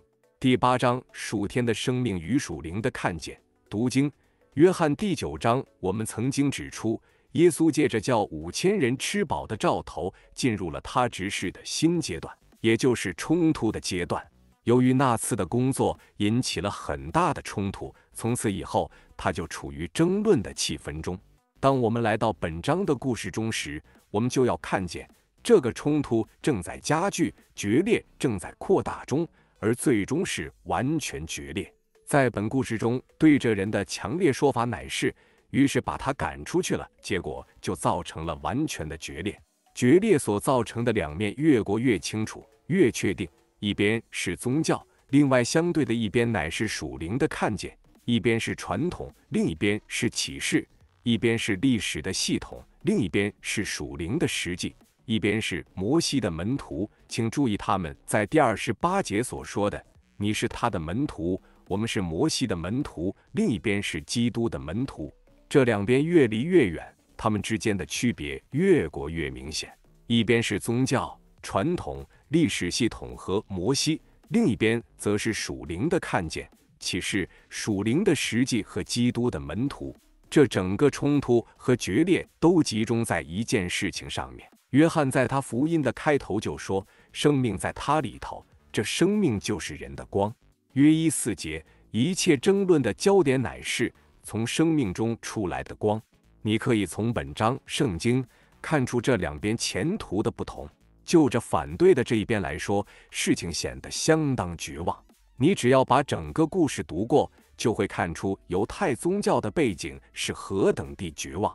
在本章末了的话，可以很清楚地说明这一点。耶稣对于整个这一边的宣判，乃是你们的罪还在。宗教传统、历史系统以及摩西的门徒制造了一个绝望的局面。这样说是不得了的一件事。但这不是我说的，是主耶稣下的宣判。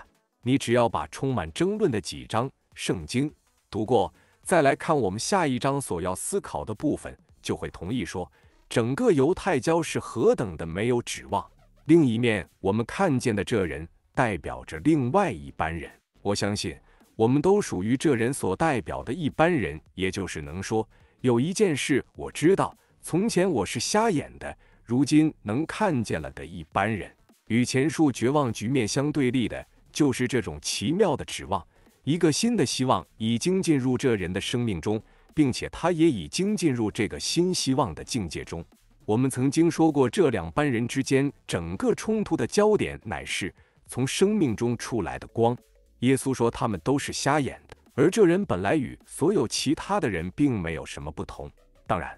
他原先的瞎眼是肉身上的，但那也是属灵上瞎眼的一个显著的记号。所有其他的人在属灵上和他一样是瞎眼，但区别希望和绝望的一件事乃是，他知道他是瞎眼，而他们不知道自己是瞎眼的。这就是希望和绝望之间的关键所在。这是毫无疑问的，因为他自己说有一件事我知道。从前我是瞎眼的，可是其他的人虽然同样是瞎眼的，却不知道其中的不同是这样的：这人觉察到在他里面一个可怕天然方面的限制，他对于这限制知道的很清楚。他每过一天都感觉到它的存在。他每天必须被人用手牵到同样的地方去祈求度日。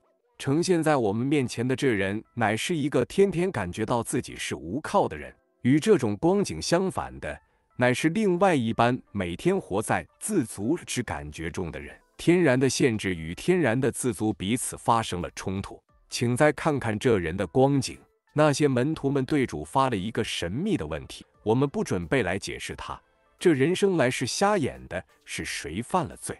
是这人呢？是他父母呢？那就是说，他们和一般人一样，都以为人的灵有他早期的存在。并且人来到这世界之先，已经有过一段历史了。这或许是纯迷信的看法，不过我们不想在这一点上耗费我们的精神，因它与我们的主题没有多大的关联。他们以这问题问主之后，他只是轻描淡写的回答了几句，也不是这人犯了罪，也不是他父母犯了罪。不管怎样，这人是生来就有缺陷的。是的，每一个人都是这样，我们生来的共同缺陷。乃是属灵上的瞎眼，不论我们身上的缺陷是哪一种形态，它都是借以显明神主宰全能的机会。这里的缺陷是属灵上的瞎眼，但我们都有各种不同生来的缺陷。在你的生命中有什么事始终是你最大的难处？你岂不是在主所呼召你的事上感觉自己是多么够不上吗？你发现主对你有所要求，却感觉你里面没有什么能符合这要求。请你回忆一下摩西的光景。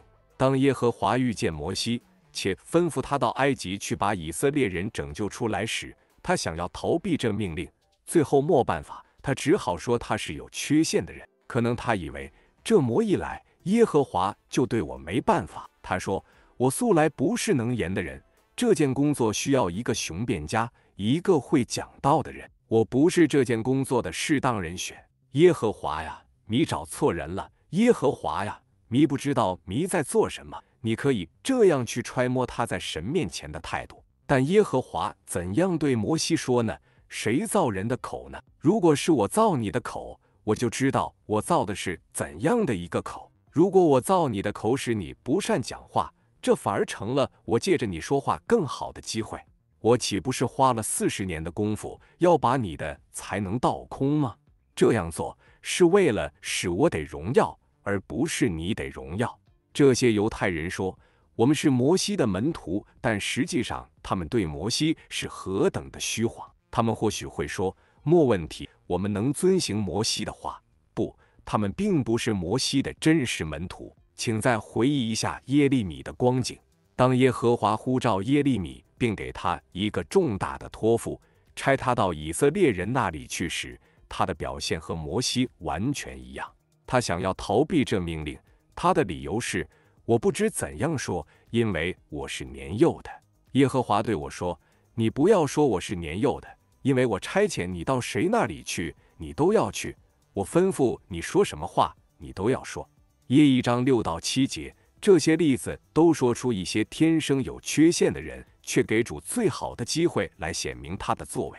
若是主要求我们必须公义，我们应立刻说：“在我里头，就是我肉体之中没有良善。”罗七十八节，我们应当这样转向他要求的另一面。哦，我并不好，在我里面没有良善，在这件善事上我完全绝望。关于这方面，主在他的话语中说了很多。我们有一卷很长的罗马书，神的意，因信耶稣基督，加给一切相信的人。罗三二十二节，我们知道在这一卷书中的教训是什么，可是我们却常活在这天然的缺陷之下。我可以继续讲许多我们天生的缺陷，我们多半都确知。若照我们的本相，都不适合于主对我们的要求。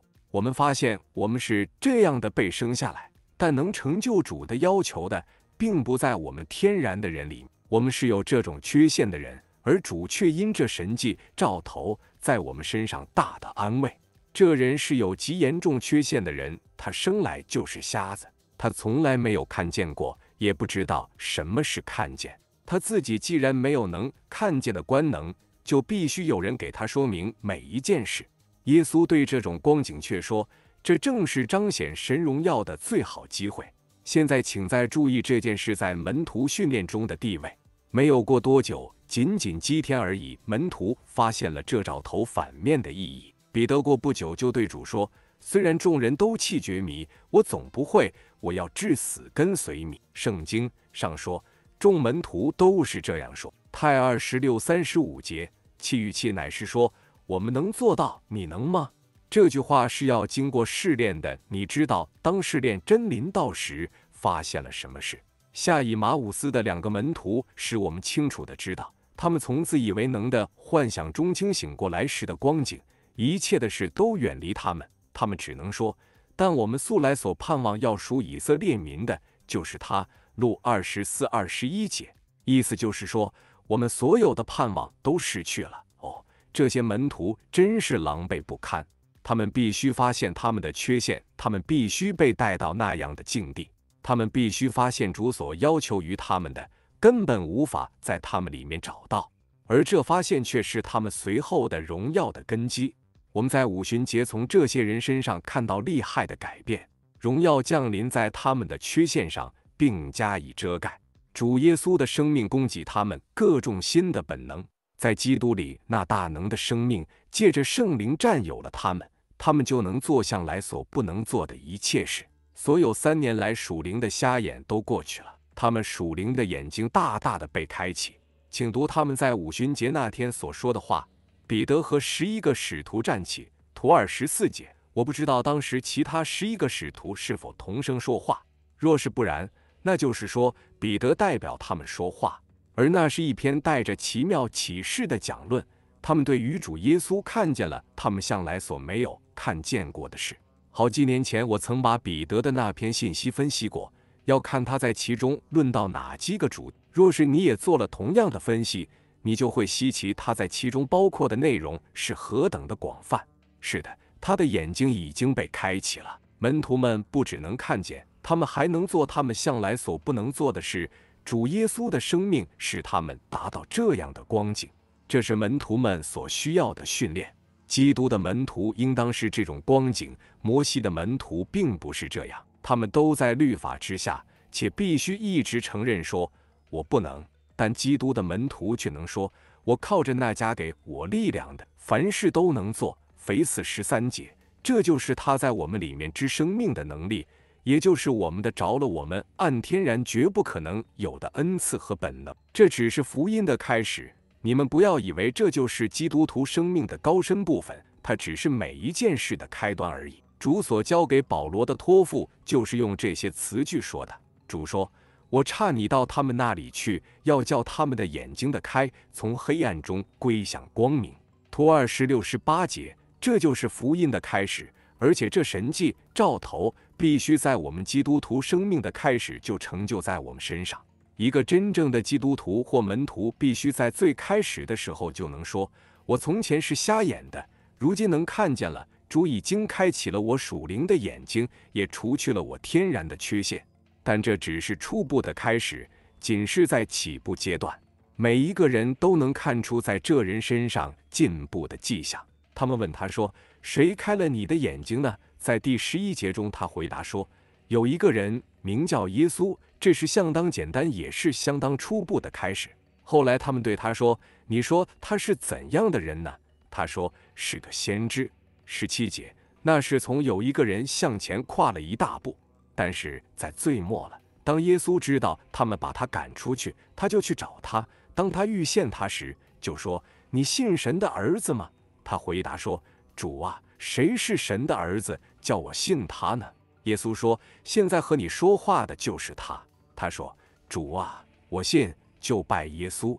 现在他以他为神而敬拜他，又是从称呼他是个人向前跨了更大的一步。这些情形都是在这个兆头里面，也是各样事情的意义。我们在基督里所得着的生命，有它简单的开始，但那是一个长进的生命，并且那个长进的性质显在对主耶稣有更完满的发现上。”我们要在我们主救主耶稣基督的恩典和知识上有长进。比后三十八节，我不过是从圣经中抽引一些这类的经文而已。当然，这件事是真的，但那些话又是从何而来的？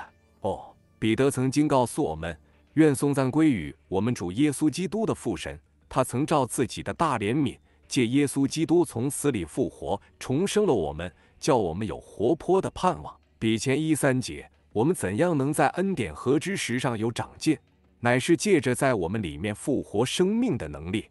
这是一个在属灵上不断向前进步的生命。现在我们必须再回到开头的地方。你有没有看出一件十分重要的事？我们曾说到那个大的决裂，说到事情如何区分为两部分。那个决裂是由于有一个人得到了属灵的开启，这一直是形成这类难处的因素。亲爱的朋友们，承认自己是基督徒的人，我们可以把他们分成两大类：一类是相信圣经都是神所漠视的话的人，他们也相信基督的神性以及一切基督徒信仰的基础真理，他们却仍可能是没有属灵启示的一般人，他们仍可能是一般不属灵的人。这样说对不对？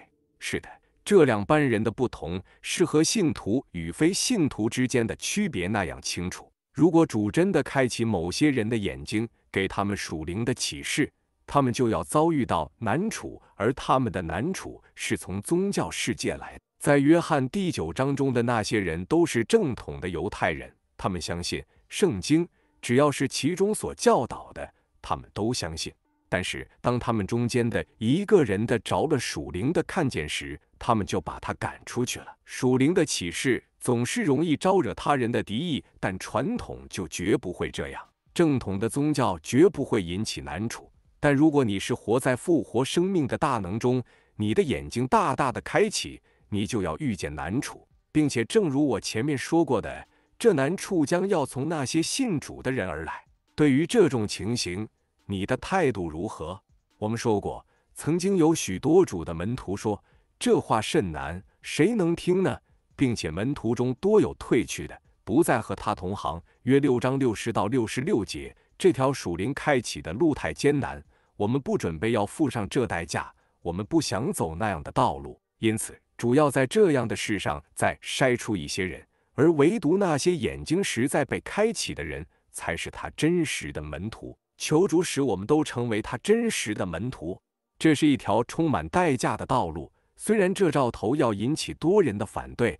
但我们的眼睛的开是何等地宝贵，就因为主使我们能看见，我们就看见。在主眼光中最有分量的人，乃是那些具有属灵的眼睛能看见的人。因此，在门徒训练的事上，开启眼睛的兆头也是其中的项目之一。但愿我们都能学习并认识这兆头的意义。第九章属天的生命胜过死亡最大的诠释。读经约十四时至十一五十七。我们现在所要看的这故事，乃是主耶稣在地上的生平与执事的最后阶段。他本来已经离开了犹太，因为犹太人的官长们想法子要杀他。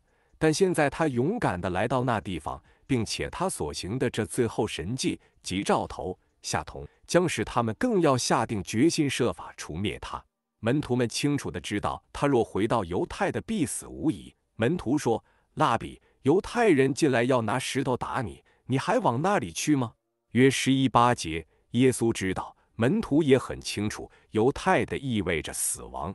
我们曾说过，耶稣一直对付死亡各种形态的意义，并借着生命来胜过他的每一种形态。首先，在加利利的迦拿之婚宴中，酒用尽了。他对付了死亡的某一方面，那就是失望和失败。死亡总是带着这种意义的。他以生命胜过了死亡。后来他又回到迦拿，加百农的大臣就来见他，因为他的小孩病得快要死了。当耶稣在他所在的地方说了话的时候，那个远在加百农的孩子就得了医治。死亡总是要牵涉到时间，它是在时间里的一个东西。我们死的时候，就是我们在地上时间的结束。但是在某一个时候，耶稣说了话，而在许多里外的小孩就得了医治。若是耶稣当时要从家拿来到加百农，就要花费许多时间。这行程使大臣必须从下午一时动身，直到太阳下山，然后第二天早晨再动身。可是当耶稣说话的时候，所有的时间都被他所消除，他的生命胜过了在死亡中的时间因素。我们也看过他来到耶路撒冷的毕士大池子，那里有一个被他的褥子捆绑了三十八年的可怜病人，他的褥子把他所有的一生与地紧紧地捆在一起。我们曾说过。他乃是在律法捆绑下治以色列人的写照。主耶稣就在一霎时间，借着他的生命，把那人从他整个的捆绑中释放出来。死亡就是捆绑。希伯来书的作者说到那些一生因怕死而为奴仆的人。来二十五节，但在律法捆绑形态中的死亡被基督的生命所胜过。接着，我们就随从他回到加利利。我们看见他使五千人吃饱。那几个饼和几条鱼一直增加，直到每一个人都吃饱，而且还有很多剩下的。死亡也说出限制，它使每一件事都受限制，但耶稣却借着生命胜过在加利利一切的限制。我们可以这样说，在他所给的那饼里面的生命是无穷尽的。如果当时在场的有两万人或五万人，结果仍然是一样的。死亡就是限制。这一点在属灵上比在物质上更为实在。属灵的死亡是一个大的限制，但耶稣所给的生命除去了一切的限制。接着，我们看见他行走在海面上，这就说出他超越了自然律。最大的自然律乃是死亡。如果你绝不会死，那必定是非常不自然了。但是在那狂风劲吹的海面上，耶稣胜过了一切自然律。就在门徒们由于自然的权势而受死亡威胁的地方，耶稣借着生命废除了自然的权势。然后我们又看见他行第六个神迹，就是使一个生来瞎眼的人的看见。死亡永远是瞎眼，这一点在属灵上比在肉身上更为真实。属灵的死亡就是属灵的瞎眼，在这方面，我们都是生来的死人，因我们一生下来都是在属灵上瞎眼的人。但耶稣叫那生来瞎眼的能看见，因此这神迹就说出在耶稣里的生命废除了属灵死亡中的瞎眼。因此，我们看见了耶稣对付死亡在这击重形态中的意义。这些事情的每一样都呈现在我们的眼前，作为死亡某些形态的表样。而耶稣借着在他里面那属天生命的能力，对付了这一切死亡的形态。他借着他的生命，把死亡变为生命。现在我们要来看第七个兆头，而前面六个兆头都集中在这兆头里面。这是读拉萨路复活故事的方法。这是一个总括性的故事，死亡的各种形态都被集中起来，而最终被耶稣基督完完全全地对付了。这是为什么这位智慧的圣灵要引导约翰用这个兆头来包括其他六个兆头的原因。这是符合属灵原则的。七包含其他所有的一切。因为如果你知道一点关于圣经数字的话，你就知道七是属灵丰满的数字。当你遇到七时，你就摸着了属灵的归结。我们只需要看看圣经的最后一卷书就清楚了，因为那是一本说到各众末了的事物的书，其中的每一件事都要达到归结和丰满。而在这书中最显著的一个数字乃是七，有七个教会，七个灯台，神的七灵，幕后的七灾，幕后的七号。你可以这样的一直看过本书中的七。因为在本书中，每一件事都达到了丰满，也达到了最后的阶段。全本圣经都可以归结在这最后一本书里面。这本书的开头提到创世纪神乐园中的生命树，生命的河涌流出来。因此，七这数字是属灵丰满的一个数字，而圣灵就照着这原则引导约翰把拉萨路复活的事迹在末了。因为在这兆头中，死亡最大的权势被主耶稣所胜过，因为他就是复活，他就是生命。耶稣是安稳地行走在死亡所弥漫的气氛中。每一个人都知道，他一接近耶路撒冷就必死亡。这一点他知道，他的门徒知道，其他的人也知道。官长们就等待着他回来，要置他于死地。整个气氛都充斥着死亡。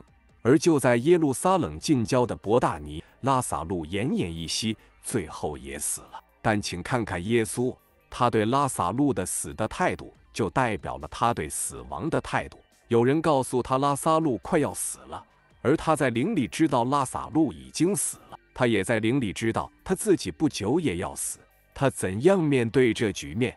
请看看他面临这情况时那安详的态度。他没有惊慌，没有紧迫的感觉。没有惧怕，没有失望，他完完全全地掌握了这局面，并且他如何掌握了拉萨路的局面，他也同样的掌握了自己所面对的死亡。在拉萨路的事件中，我们一点也看不出任何迹象显示死亡的胜或死亡是主宰者。耶稣对于这一点从不担忧，他能够安详地行走在其间，并向他走去，这是相当感人的一个场面。你有否看出这件事的意义？让我们再说一遍。耶稣知道这几天在耶路撒冷的公会决意要杀害他，因此他知道回到耶路撒冷必定是死，但他仍然安安静静的来了，没有任何惧怕。他正掌握着整个局面，这一切都包含在拉萨路的兆头中。哦，每一个人都要催促他快一点，他们都认为这局面将是一个可怕的悲剧，是一极为严重的事。他们就不明白，为什么耶稣并不把他看得那么严重。他是那样的掌握了这局面，以至于他对他来说并不像一回事似的。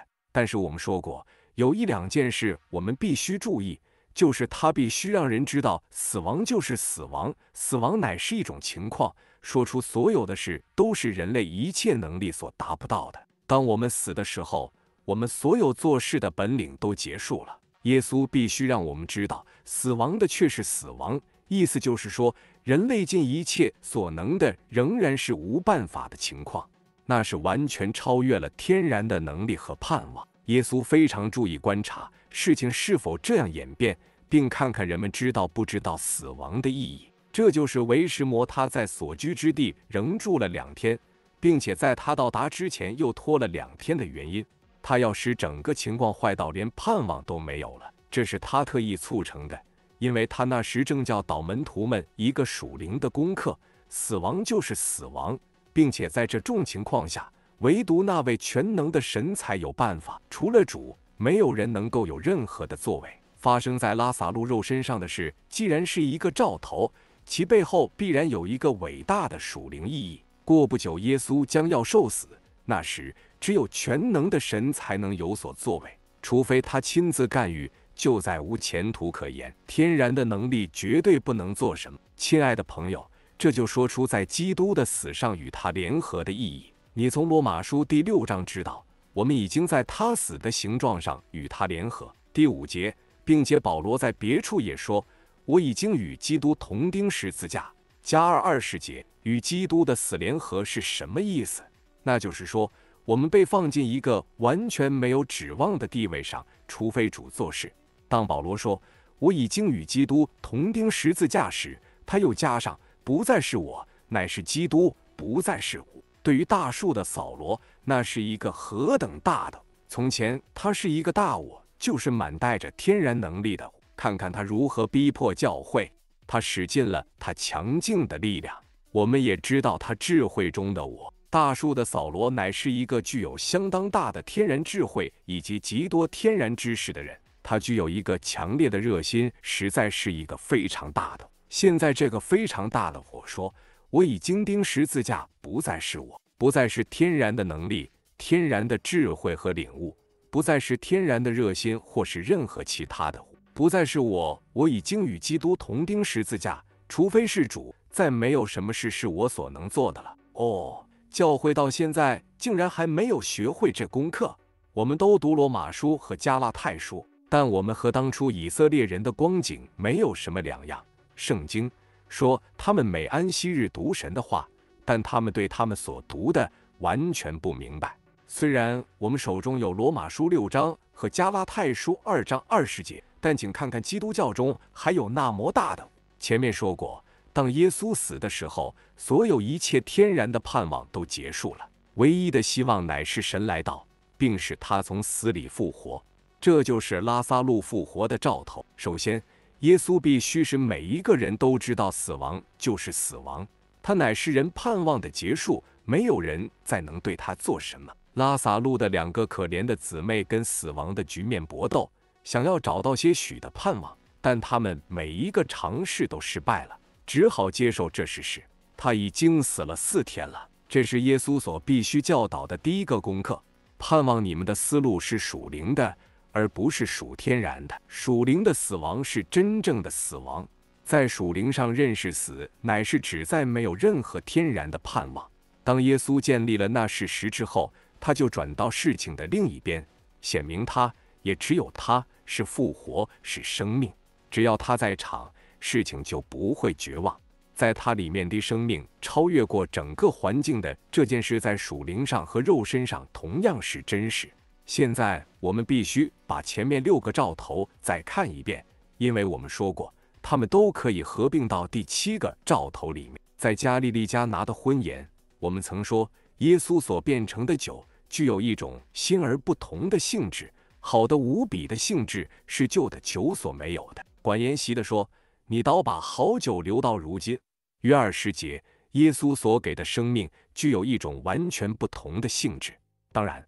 这件事在拉萨路的兆头的表面是看不出来的，但是我们却很容易领悟出来。设想拉萨路是你亲爱的兄弟，而你却因着他死了而失去他，因着时间的拖延，使得你再没有任何盼望。当时在犹太的死了四天，那是一点希望都没有了。他们说：“主啊，他现在必是臭了，因为他死了已经四天了。但神却使他从死里活过来，并把他交还给你。”你岂不发现你在复活中得回的他和从前不一样吗？还记得抹大拉的玛利亚吗？他已经失去他的主人，却在园中再找到他。当他呼唤他玛利亚时，他转过身来说：“拉波尼，我伟大的主人。”他以前常称呼他拉比，意思就是主人，但现在改称拉波尼，而想要拉住他的脚。他的意思就是说：“我曾经失去。”我今后绝不能再失去迷迷之于我比往昔更宝贵。我相信在博大尼就是这样的情形，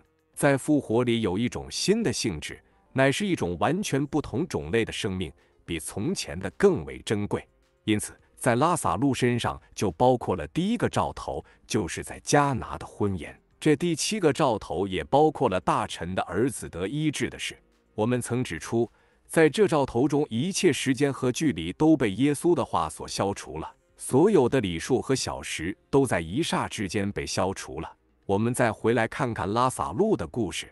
哦，对这些人，时间是何等地重要！他为时魔不急忙赶到，他为什么一直迟迟不来？现在这位兄弟已经死了四天了。时间是何等重要的因素啊！距离也是个重要的因素啊！他的一个姊妹所能说的。最好也不过是我知道，在末日复活的时候，他必复活。唯独主知道他什么时候要复活。耶稣来到现场，就用一句话，所有时间和距离都被消除了。在耶稣里面的生命摧毁了时间，他的生命就是永生。因此，拉萨路的故事包括了第二个兆头。那么，在毕士大池边的那可怜病人又怎样呢？他被他的床褥和他的病捆在地上有三十八年之久，那是一个活的死，被律法所捆绑。耶稣就借着生命是放了那人。在拉萨路的故事中，包括了这情形：拉萨路出来，坟墓再没有能力扣留他。解开，让他们走，这就是耶稣所给的生命中释放的能力。因此，在毕士大池边的这人被包含在拉萨路的兆头中。我们从主使五千人吃饱的事上，可以看见耶稣所给的生命是何等的无限。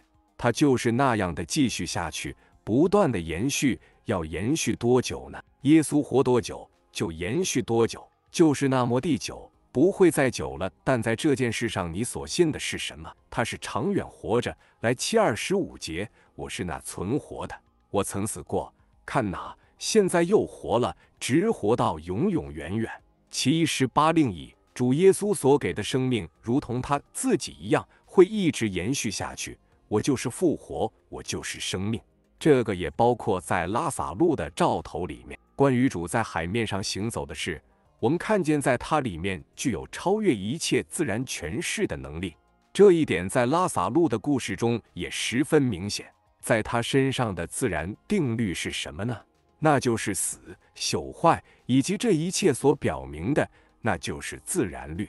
而耶稣的脚就踩在这律的上面，他行走在水面上，他把这一切踩在脚下。尽管有这一切自然律，他仍叫拉萨路复活。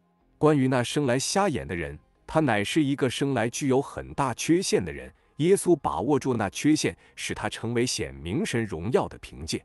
而这里的拉萨路也是一个有缺陷的人。你可以这样想：这两个姊妹尽他们所能的要叫他们的兄弟不死。很显然的，他们是有钱的人。我们确信他们有最好的医学处方。他们为了要使兄弟的病情好转，什么都做了。但他就是天生有缺陷，注定某一天要死的。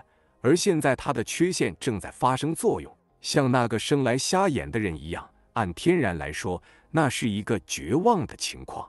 耶稣对这情况怎么说？